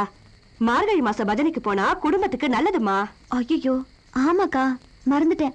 கொஞ்சம் இருங்க இது வந்து இல்ல இல்ல எதிர் வீட்டு மாலா வரேன்னு சொன்னா நான் அவ வீட்ல இருக்கேன் நீ அங்க வந்துரு. Okay. Raghu sir? Raghu sir. Sorry Raghu sir. Baby அக்கா என்ன பஜனை கூப்பிடுறாங்க. நான் போயிட்டு வர ரொம்ப லேட் ஆகும். நீங்க கதவை உள்புறமா சாத்திக்கிட்டு படுத்துக்கோங்க. ஓகே. சரிங்க. இந்த மார்கழி மாசம் வந்தாவே பொம்பளைங்க இம்சை தாங்க முடியல. இந்த பிசாசிய இந்த நேரத்துல போன் பண்றான்? என்னங்க எங்க இருக்கீங்க? பரலோகத்துல இருக்க. வெயிட் பண்ண. இவளுக்கு பால்ல தூக்க மருந்து கலந்து கொடுத்தாலே தூங்க மாட்டேன்.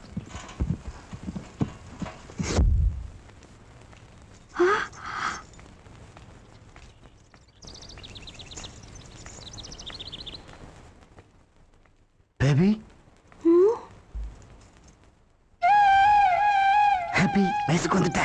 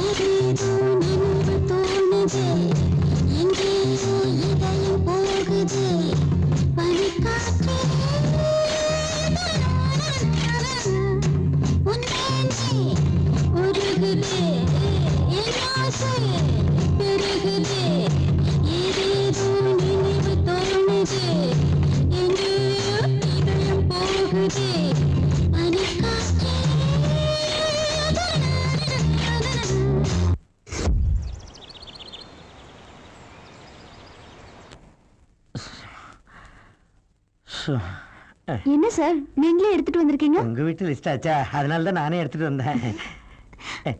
இருங்க நான் போய் பணம் எடுத்துட்டு வரேன். பிரம்மா நீ படைக்கிறதோட நிறுத்திக்கடா. எதுக்கடா செதுக்கி இல்லாம வச்சிருக்காய்?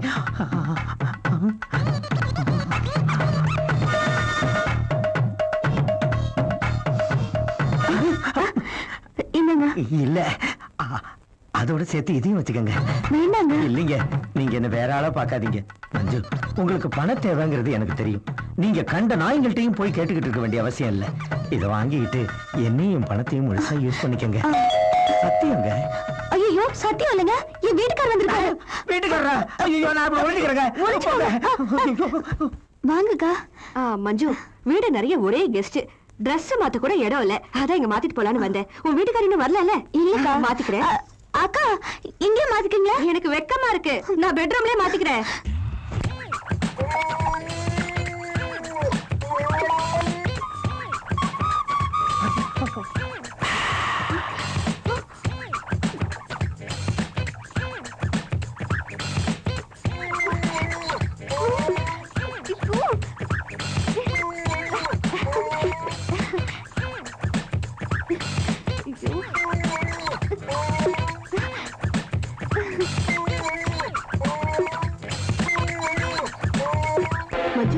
உனக்கு தெரியுமா?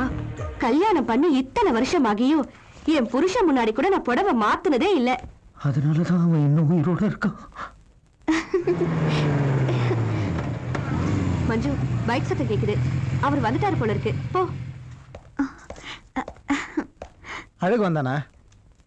இப்பதான் வந்து கொடுத்துட்டு போனாரு. பில்லு? ஆ, அப்புறம் வாங்கிக்கிறேன். மஞ்சு பத்து நிமிஷத்துல வரேன் மார்க்கெட்டுக்கு போல ரெடியா இரு. சரியா? அழகு சார் என் வீட்டுக்கார் வந்துட்டாரு. தயவு செஞ்சு போங்க. நான் போகணும்னா நீங்க இந்த பணத்தை வாங்கிட்டு நாளைக்கு சாயங்காலம் பார்க்குக்கு வரணும். நான் எதுக்கு பார்க்குக்கு வரணும்? அங்க பெரிய பெரிய புதர்லாம் இருக்காது பின்னால உட்காந்துக்கிட்டு. ஐயோ நான் அங்கெல்லாம் வர மாட்டேன் வரமாட்டேன்னா நான் போக மாட்டேன். சரி கொடுங்க நான் வரேன். வருவீங்கல்ல தேங்க்யூ அழகு சார் நல்லா இருக்கீங்களா? என்ன பேய் அறிஞ்ச மாதிரி நிக்கிறீங்க? என்னமோ தெரியல போங்க.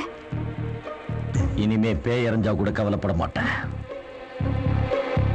குரு உங்க கேடுகட்ட மூளையில இருந்து வந்த அயோக்கியத்தனமான ஐடியாவை யூஸ் பண்ணி மஞ்சுவை கவுத்துட்டேன். வெரி குட்ரா வெரி குட் இனிமே டைமை வேஸ்ட் பண்ணாத. அவளுக்கு பணம் கஷ்டம்னு வேற சொல்ற. ஹெல்ப் பண்ற மாதிரி அவளை உன் வீட்டுக்கு வர வச்சிரு. சூப்பர் கில்மா கொடுத்துட்டு கைமா பண்ணிடுறேன். வராங்க குரு. சீக்கிரம் இருந்தாலும் கூவத்துல செலவைக்க வேண்டியதான் பின்றாயா?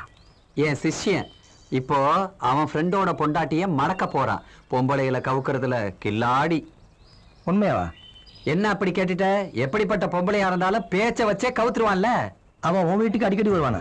பின்ன வாரத்துக்கு ஒரு தடவை அவன் என் வீட்டுக்கு வரலனா அவனுக்கு பைத்தியமே புடிச்சிரும். என்னுடைய பெஸ்ட் ஃப்ரெண்டு ஏன் கேக்குற? இல்ல இப்ப அவன் ஃப்ரெண்டு பொண்டாட்டியை கரெக்ட் பண்ணணும்னு பாக்குறான் நீ அவன் ஃப்ரெண்டு தானே? நாளைக்கு உன் பொண்டாட்டியும் கரெக்ட் பண்ண மாட்டான்றது என்ன நிச்சயம் எதுக்கும் ஜாக்கிரதையா இரு.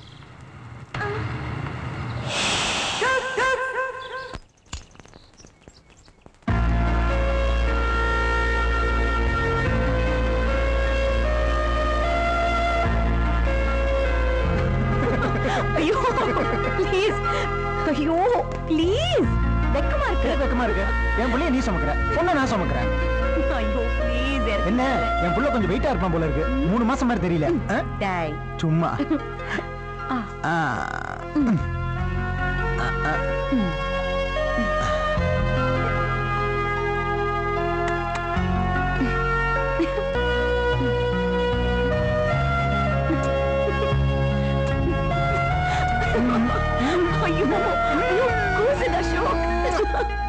இந்த உம்மா உனக்கு கிடையாது. உள்ள இருக்கிற என் குழந்தைக்கு. ஓஹோ. அப்போ என்ன விட உங்களுக்கு உங்க குழந்தை தான் ரொம்ப முக்கியமா? ஆமா எனக்கு என் குழந்தை தான் முக்கியம் நீ எல்லாம் ஒரு மனுஷன். உன நம்பி வந்தேன் பாரு. இதெல்லாம் ஒண்ணு எவ்வளவு நாளைக்கு? உள்ள இருக்கிற என் ராஜா வெளியில வரட்டும். அப்புறம் மார்க்கெட் அவுட் ஏய் பைத்தியமா உனக்கு? புகை உள்ள போச்சுன்னா குழந்தைக்கு ஆகாது. ஏ இந்த புகை உங்க உடம்புக்குள்ள போனா உங்களுக்கு ஒன்றும் ஆகாதா? இது பாருங்க. உங்களுக்கு உங்க குழந்தை எவ்வளவு முக்கியமோ அதை விட நீங்க எனக்கு முக்கியம்.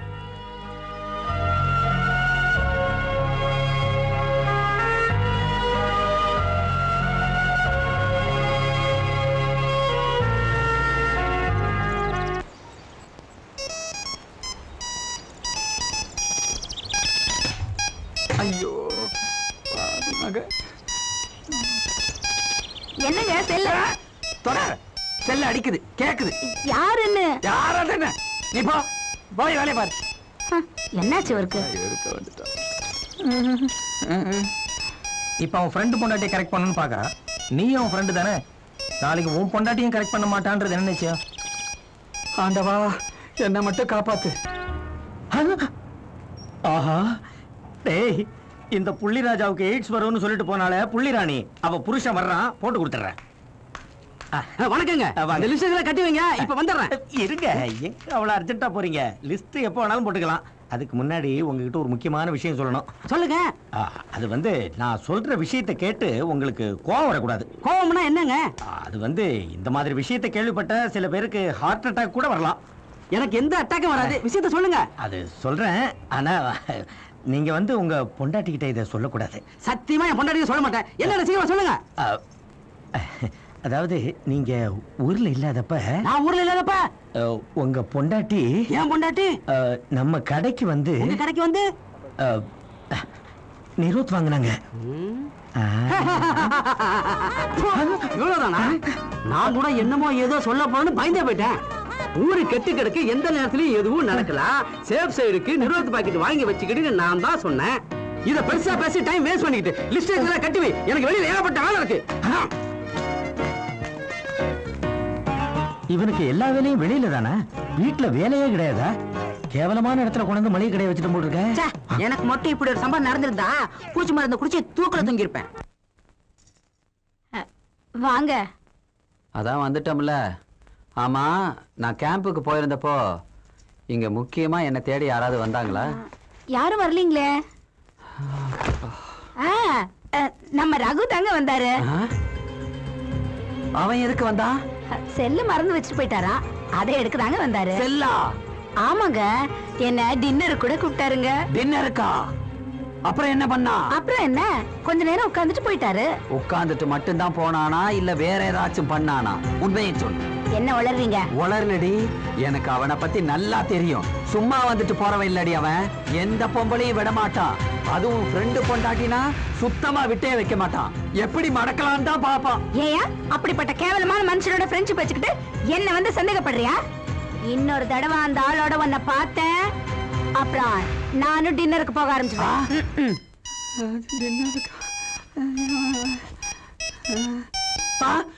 ரகு. ஐயோ ரகு. என் பொண்டாட்டி கூட விட்டு வைக்க மாட்டேங்கிறேடா. போன ஜென்மத்துல என்ன பாவம் பண்ணனோ இந்த ஜென்மத்துல என் ஃப்ரெண்டா வந்து வாச்சிருக்கேடா தரித்திரம் பிடிச்சவனை எல்லாம் என் தலையெழுத்து தலையெழுத்து. சொல்லிடாய போய் சொல்லடா. மஞ்சு. என்னங்க? என்னங்க மஞ்சு? உள்ள வரலாங்களா? வாங்க அதான் வந்துட்டீங்களே. இல்ல வீடு திறந்து இருந்தது அதான் நோய்ஞ்சிட்டேன் இதெல்லாம் சும்மா ஃபார்மாலிட்டி கேட்கறது தானே ஆமா நீங்க எப்படி இருக்கீங்க? ஏதோ இருக்கேன் ஏங்க இப்படி சொல்றீங்க? நான் ஒருத்தன் இருக்கிறதே நீங்க மறந்துடுறீங்க. அட்லீஸ்ட் எனக்காகவாவது நீங்க சந்தோஷமா இருக்கணும். இருக்கணும்னு தான் நினைக்கிறேன். என் சூழ்நிலை அப்படி இல்லையே. என்னங்க பெரிய சூழ்நிலை? எல்லாமே நம்ம உருவாக்குறது தான் நீங்க எதை பத்தியும் கவலைப்படாதீங்க. நீங்க அன்னைக்கு பணம் கேட்டுட்டு போனதுல இருந்து உங்க நினைப்பு தான் என்னமோங்க உங்களுக்காவது என் மேல அக்கறை இருக்கேன் பின்ன? வேற யாருக்குங்க உங்க மேல அக்கறை இருக்கும்? எவ்வளவு உரிமையா நீங்க என்கிட்ட பணம் கேட்டீங்க? அவ்வளவு உரிமை நீங்க எனக்கு கொடுக்கும்போது உங்க மேல எனக்கு அக்கறை இருக்காதா? என்னங்க என்னங்க நீங்க கேட்ட பணம். புடிங்க. ரொம்ப நன்றி முரளி சார் ஆனா எந்த உள்நோக்கத்திலையும் இந்த பணத்தை நீங்க கொடுக்கலையே. ஏன்? ஏன் அப்படி கேக்குறீங்க? இல்ல பொம்பளைங்க பணம் கேட்டா ஆம்பளைங்க தப்பா அர்த்தம் எடுத்துக்கிட்டு பணம் கொடுப்பாங்க. அப்படி ஒரு எண்ணம் இருந்தா தயவு செஞ்சு பணத்தை திரும்ப வாங்கிக்கோங்க. ஐயோ வேண்டாங்க. என் மனசுல இருக்கிறது ஓப்பனா சொல்லணும்னா உங்க மேல எனக்கு கொல்ல ஆசை. உங்களை மாதிரி ஒரு பொண்ணுக்கு நல்ல வாழ்க்கை அமையலையேன்னு எத்தனை வாட்டி நான் ஃபீல் பண்ணியிருக்கேன் தெரியுமா? அந்த அசோகை ரெண்டாம் தாரமா கட்டிட்டு நீங்க என்ன சுகத்தை கண்டீங்க? உண்மையிலேயே சொல்லணும்னா உங்களுக்கே தெரியாம நான் உங்க கூட வாழ்ந்துட்டு இருக்கிறேன். இப்போ சரின்னு சொல்லுங்க. என் பொண்டாட்டியை டைவர்ஸ் பண்ணிட்டு பசங்களை கொண்டு போய் அனாத ஆசிரமத்தில் விட்டுட்டு நம்ம ரெண்டு பேரும் போய் எங்கேயாவது நிம்மதியாக வாழலாம். இப்போ நீங்க வாழ்ந்துட்டு இருக்கிறதெல்லாம் ஒரு வாழ்க்கையா? பொண்டாட்டியோடைய கஷ்டத்தை தெரியாத ஒரு ஜடத்தோட வாழ்க்கை நடத்திட்டு இருக்கீங்க அதை விட நீங்க ஒரு புணத்தோட குடும்பம் நடத்தலாம். ஊர் உலகத்தை பத்தி எல்லாம் கவலைப்படாதீங்க. கொஞ்ச நாள் அப்படி இப்படின்னு பேசுவாங்க. அதுக்கப்புறம் யாருன்னா போலி சாமியார் மாட்டிக்கிட்டா அவனை பத்தி பேச ஆரம்பிப்பாங்க. வாழ்க்கைன்றது கொஞ்ச நாள் தான் முடிஞ்ச அளவுக்கு ஹாப்பியா இருக்கணும். யோசிச்சு நல்ல முடிவா சொல்லுங்க. வரேன்.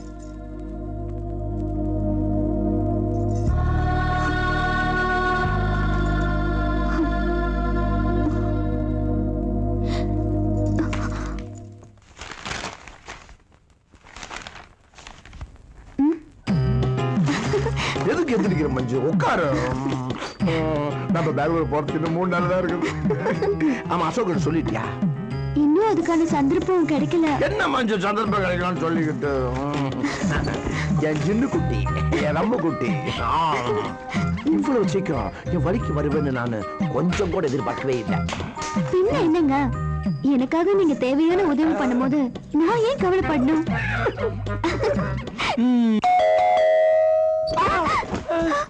என்னது?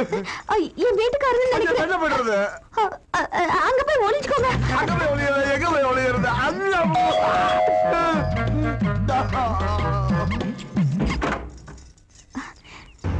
வாங்க. நாராயணன் வந்தானா? வந்தாரு. உங்களை கேட்டாரு. நீங்க இல்லைன்னு தெரிஞ்ச உடனே போயிட்டாரு.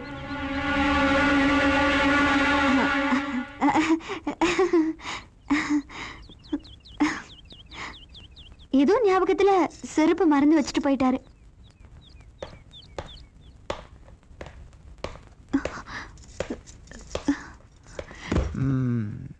என்ன பண்ணிட்டு இருந்த மஞ்சு? சும்மா சும்மா படுத்துட்டு இருந்தேன். யார் கூட?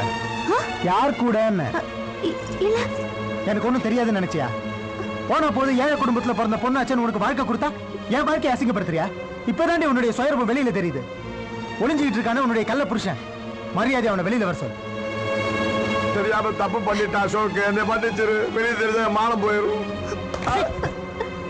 உனக்கெல்லாம் எங்கடா மானம் இருக்கு? நீ எல்லாம் ஒரு மனுஷனா? ஃப்ரெண்டு பொண்டாட்டின்னு தெரிஞ்சு கூட அவ கூட கூத்தடிக்கணும்னு உன்னெல்லாம் உயிரோட அவரை எதுக்காக அடிக்கிறீங்க? அவர் என்ன தப்பு பண்ணாரு? என் கூட ஜாலியா சிரிச்சு பேசிட்டு இருந்தது ஒரு தப்பா? கூட வாழ வந்தவள புரிஞ்சுக்காத நீங்க. மத்தவங்களுக்கு அட்வைஸ் பண்றதுக்கு என்ன தகுதி இருக்கு? நிறுத்திரி செய்யறதெல்லாம் செஞ்சுட்டு என்ன தைரியம் என்ன எதிர்த்து பேசுவ.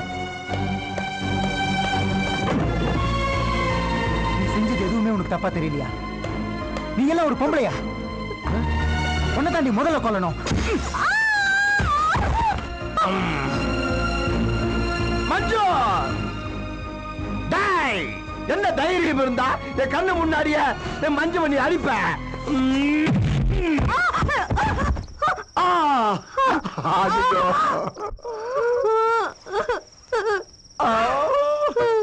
அட பாவி. சாரி கனவு தெரியாம இடம். இல்ல இல்ல. அந்த வேலைக்காரி தனத்தை வேலையை விட்டு நிப்பாட்டினதுக்காக நீ பண்ண பிளான் இது. ஐயோ நீ உதைச்ச வேகத்தை வேற எதுலயாச்சும் காட்டியிருந்தா இந்நேரத்துக்கு வீட்டு நிறைய பிள்ளைங்களாவது இருந்திருப்பாங்க. என்ன பண்றது? உங்ககிட்ட மயக்க கொடுத்த கதையா? நான் உன்கிட்ட மாட்டிக்கிட்டேன். இதுல கனவு கொண்டு குறைச்சல் இல்ல. அம்மா ஐயோ. யாருக்கு அந்த வீட்டுல ஒன்றரை கிலோ இருக்கு பத்து ரூபா ஆச்சு. காசு வேண்டாம் பெரிச்சம்பழம் கொடு.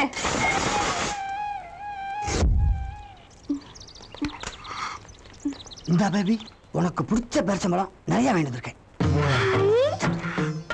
ஏன் பேபி உனக்கு பெருச்சம்பழம் மட்டும்தான் பிடிக்குமா? இல்ல உங்களையும் பிடிக்கும்.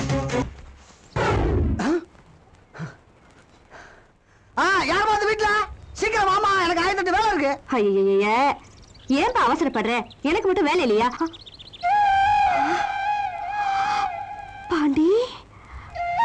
பேபி நல்லா இருக்கியாமா பேபி இனிமேல் என்னால வெயிட் பண்ண முடியாதுமா மறுபடியும் சுனாமி வந்து சுட்டிட்டு போறதுக்குள்ள வா நம்ம ரெண்டு பேரும் சேர்ந்து கல்யாணம் பண்ணி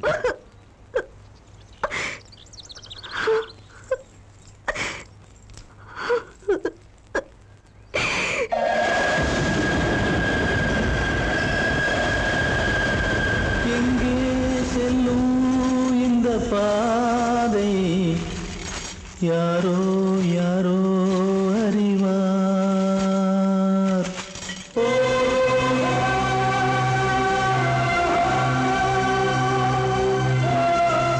டேய் அந்த தேன் பாட்டில் ஒழுங்கா இருக்கு. இந்த நான் வரேன்டா. ஏய் இரு இரு இரு. இந்த நான் உங்ககிட்ட வாங்கின பணம். எப்படா கொடுத்தேன்? எனக்கு ஞாபகமே இல்லையே. உனக்கு உன் முத பொண்டாட்டியை தவிர வேற எதிராக ஞாபகத்தில் இருக்க போகுது? உங்ககிட்ட கடன் வாங்கின பணம்டா அதை தான் கொடுக்குறேன். தேங்க்ஸ்டா அர்ஜென்ட்டாக ஊருக்கு போக வேண்டியிருக்கு. இதை நேத்தே கொடுத்துருந்தா இந்நேரம் ஊரில் இருந்திருப்பேன். வரேன்டா. இந்த ஐடியா நேத்தே எனக்கு தோணாம போச்சே. நாராயணன் சார் நான் மஞ்சு பேசுறேன். என்ன பண்ணுவீங்களோ ஏது பண்ணுவீங்களோ தெரியாது. உடனடியா எனக்கு மூணு லட்சம் ரூபாய் தேவை. இந்த ஒரு உதவி மட்டும் பண்ணிட்டீங்கன்னா என் பிரச்சனையெல்லாம் சால்வ் ஆயிடும். உன் பிரச்சனை நான் தீர்த்து வைக்கிறேன். என் ஆசையை நீ எப்ப தீர்த்து வைக்க போற? அதுதான் நம்ம பெங்களூர் ப்ரோக்ராம் எதுக்கு பெங்களூர்ல போய்கிட்டு அவர் இன்னைக்கு வெளியூர் போறாரு. இனிமே எதையும் தள்ளி போட விரும்பல. எனக்காக இருக்கிறவங்க நீங்க. என்னை சிக்கல்ல இருந்து காப்பாத்தினவங்க நீங்க. அதனால நான் ஒரு முடிவுக்கு வந்துட்டேன். செல்மிசத்தை செல்லுன்னு பெங்களூர் ஏசி ரூம்ல வச்சுக்கலாம்னு தான் பார்த்தேன். ஆனா நீ சிக்கனமா சென்னையிலே வச்சுக்கலாம்னு சொல்ற. ஓகே. சில்லா சிக்கனமாங்கிறது முக்கியம் இல்ல சில்மிசம் தான் முக்கியம்.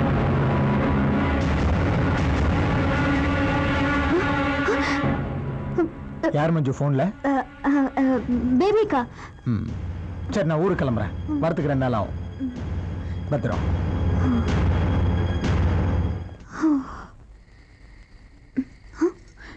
நீங்க எப்ப வந்தீங்க? உன் புருஷன் ஊருக்கு போனோடனே வந்துட்டேன். நேத்து பொண்டாட்டி ஊருக்கு போனான்னு ஒரு படம் பார்த்தேன். அதான் இன்னைக்கு புருஷன் ஊருக்கு போனா எப்படி இருக்குன்னு பார்க்கலான்னு வந்தேன். அவரே ஊருக்கு போனது உங்களுக்கு எப்படி தெரியும்? அவங்கிட்ட கடன் வாங்கின மாதிரி பணத்தை கொடுத்து ஊருக்கு அனுப்புனதே நான் தானே? இங்க பார்.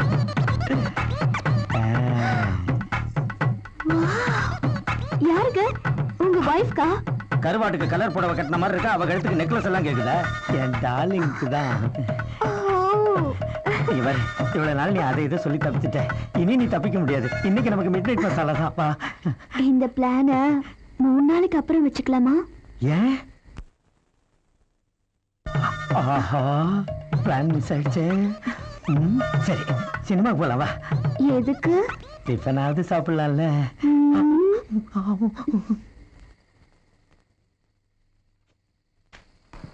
நாராயணா பத்து வட்டிக்கு தான் பணம் தர்றது. ஒரு சொத்து நல்ல சொத்து. நீனும் தெரிஞ்சாலா போயிட்ட. அதனால நான் எட்டு வட்டிக்கு தர்றேன். ரொம்ப ஜாஸ்தி. எது? கையெழுத்தா? ம், வட்டி. அப்படின்னா கம்மியா கொடுக்கறது வாங்கிக்க. தேவன் பத்திரம் எடுத்துப்பா கோவிச்சுக்காம பணத்தை கொடு. அவசரம் உனக்கு புரிய மாட்டேங்குது. பாரு இதுல அஞ்சு லட்சம் ரூபா இருக்கு. மாசம் ஆனா நாற்பதாயிரம் ரூபாய் வட்டி வந்தாகணும். அப்படி இல்லைன்னா மூணு மாசம் வெயிட் பண்ணுவேன். அப்பவும் வரலன்னு வச்சுக்க. இந்த சொத்தை நீ மறந்துட வேண்டியதுதான். நீ என்னைய நேர காலம் தெரியாம பேசிக்கிட்டு சொர்க்கத்தையே பார்க்க போறேன். இப்ப போய் சொத்தை பத்தி பேசிக்கிட்டு. எப்படி இந்த சொத்து நமக்கு தான் எப்படின்னு? இவனோட சேர்த்து நாலு பேர் இந்த ஏரியாவுல திவாலா போறாங்க. அது எப்படி அவ்வளவு கரெக்டா சொல்றீங்க? ஒரு பொண்ணுக்காக நாலு பேர் போட்டி போட்டுக்கிட்டு நாயா பையன் அலையிறாங்க செலவு பண்றாங்க. என்னைக்கு அவ புருஷனுக்கு இந்த விஷயம் தெரியுது? அன்னைக்கு அவங்க மாவுதான்.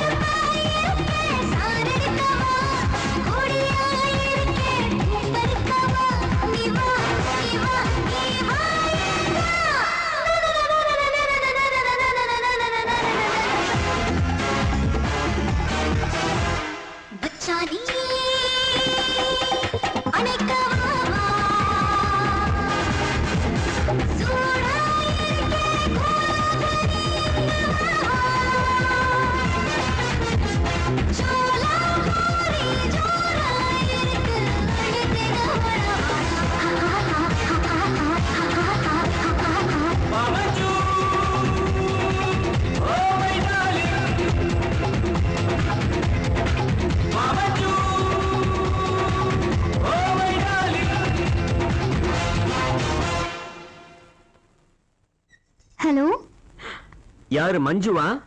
எப்படி கண்டுபிடிச்சீங்க? எல்லாரும் ஹலோன்னா வாய்ஸ் வரும். நீங்க ஹலோனா பெப்சி உங்கள் சாய்ஸே வரும். ரொம்ப புகழ்றீங்க. உங்களை புகழலனா ஊமையா இருக்கிறதே பெட்டர் நீங்க ஊமையாவே இருந்திருக்கலாம். ஏன் இப்படி சொல்றீங்க ஹா? பின்ன என்னங்க? என் புருஷன் ஊருக்கு போயிருக்காரு. நான் தனியா தான் இருக்கேன். இப்பவே வாங்கன்னு ஓப்பன் அவ சொல்ல முடியும்? அப்படின்னா? நீங்களே புரிஞ்சுக்கணும். ஓ ஒரு தென்றல் புயலாகி வருமே.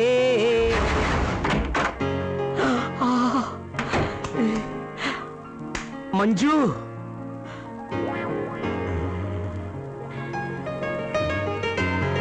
வட்டமிடும் புறா வாயை பிழக்கும் சுறா.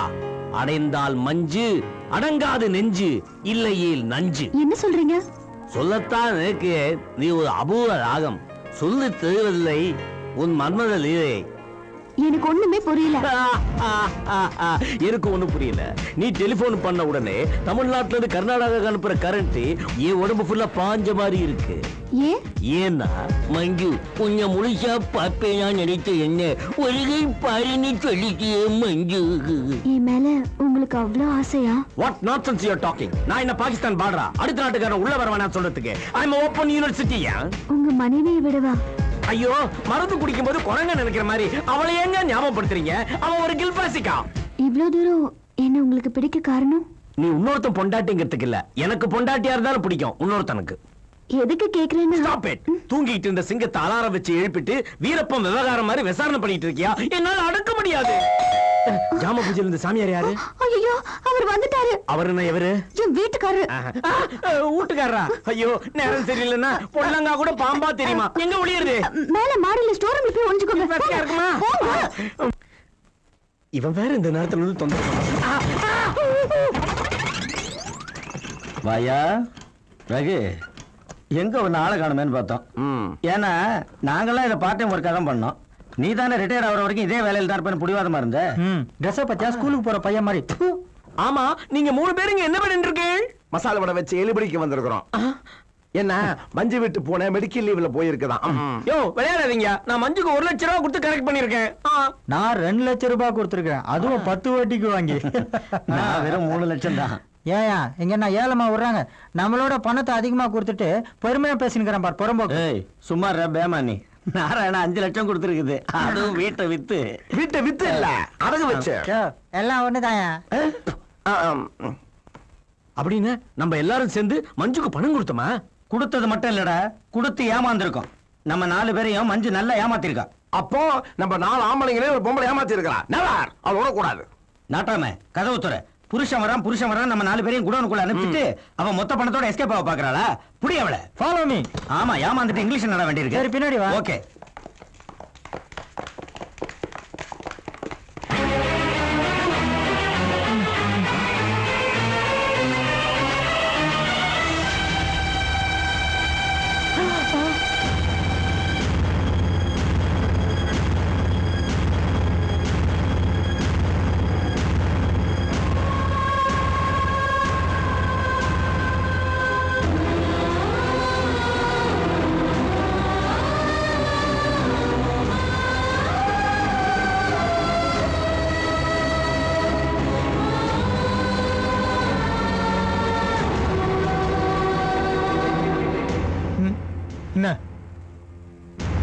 அப்புறம் உயிரோட இருக்காளேன்னு அதிர்ச்சியா இருக்கா? இன்னும் சாகல. வெறும் கோமால தான் இருக்கா. ஆனா நீங்க? கோமால கூட இல்லடா. எப்பயோ செத்து போயிட்டீங்க.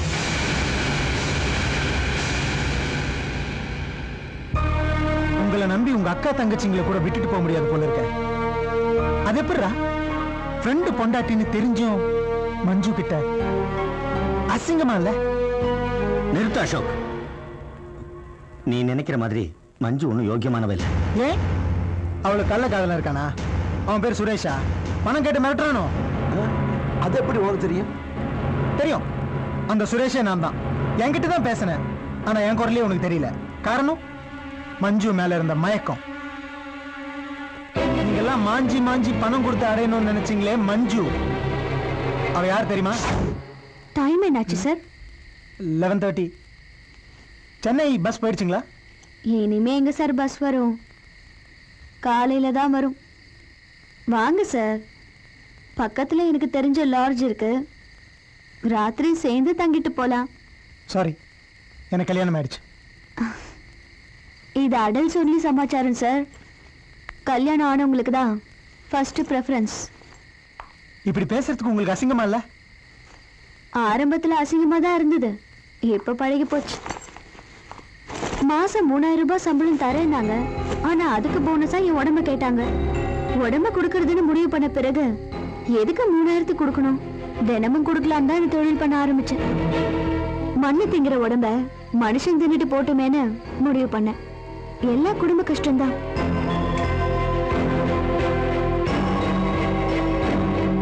உனக்கு பணம் தானே வேணும்? நான் சொல்றபடி செய்வியா? இந்த தொழிலை விட கேவலமானது நீங்க எதுவும் சொல்ல முடியாது. என்ன பண்ண சொல்லுங்க. எனக்கு பொண்டாட்டியா நடிக்கணும். அவ பணத்துக்காக உடம்ப விற்கிறவளா இருந்தாலும் உங்களை விட எவ்வளவோ மேல்றா. விபச்சாரம் பண்ணவளை வீட்டுக்கு கூட்டிட்டு வந்தது குடும்பம் நடத்துறதுக்காக இல்ல. உங்களை பழி வாங்குறதுக்காக. ம். அதுக்காக தான் மஞ்சுவை ரெண்டாம் தாரமா கல்யாணம் பண்ண மாதிரி உங்களையும் இந்த காலனியில் இருக்கிறவங்களையும் நம்ப வச்சேன். டேய் நீங்க எனக்கு ஃப்ரெண்ட்ஸா கிடைச்சதுக்கு நான் ரொம்ப சந்தோஷப்பட்டேன். செத்தா என்ன தூக்கி போட நாலு பேர் இருக்கீங்கன்னு. ஆனா நான் உசுரோட இருக்கும்போதே என்ன தூக்கி போட்டீங்களா?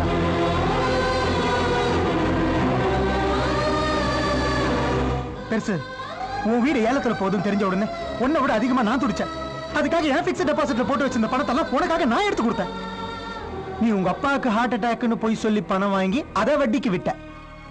முரளி உனக்கு மட்டும் ஹார்ட் அட்டாக் வராதுடா. ஏன்னா அதுக்கு ஹார்ட் இருக்கணும். நீ கடையை நடத்த கண்டவங்கிட்ட கடன் வாங்குவ. அந்த கடன் அடைக்க நான் பத்திரத்துல கையெழுத்து போடணும்.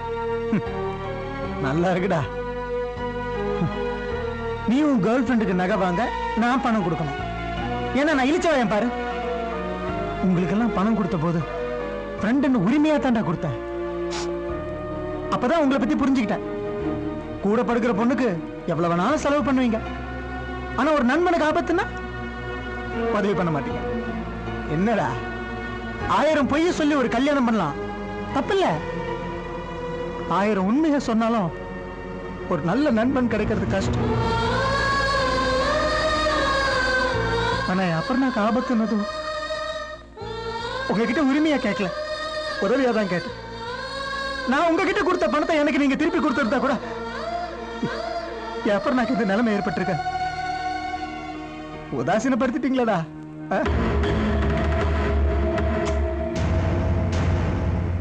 இந்த உலகத்துல பெத்தவங்க இல்ல கூட பிறந்தவங்க இல்ல பிள்ளைங்க இல்ல. ஏன்? அந்த ஆண்டவனே இல்லைன்னு சொல்றவங்க இருக்காங்க. ஆனா ஃப்ரெண்ட்ஸே இல்லைன்னு சொல்றவங்க இல்லடா.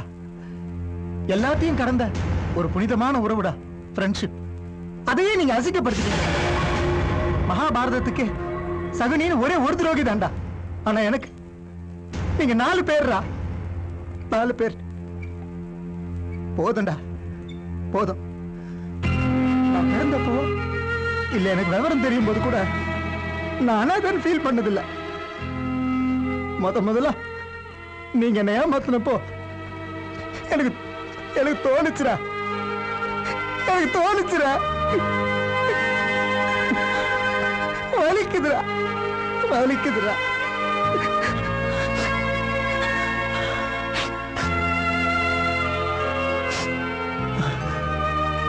இதுக்கு மேல உங்க முகத்துல முழிக்க நான் விரும்பல. நான் இந்த ஏரியா விட்டு போறேன். இப்ப நீங்க போலாம்.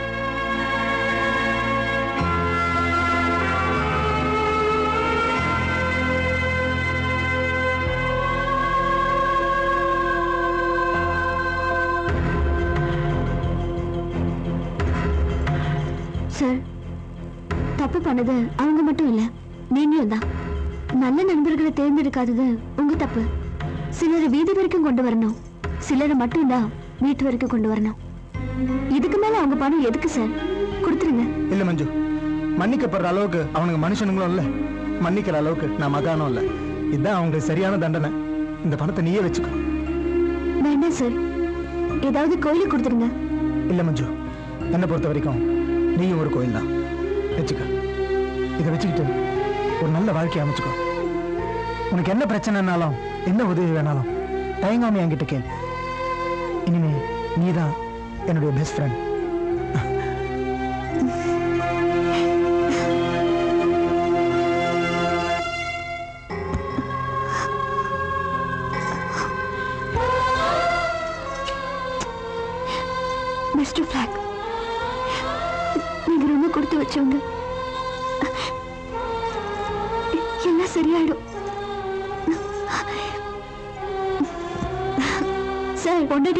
சார். இப்ப மாதிரியே எப்பவும்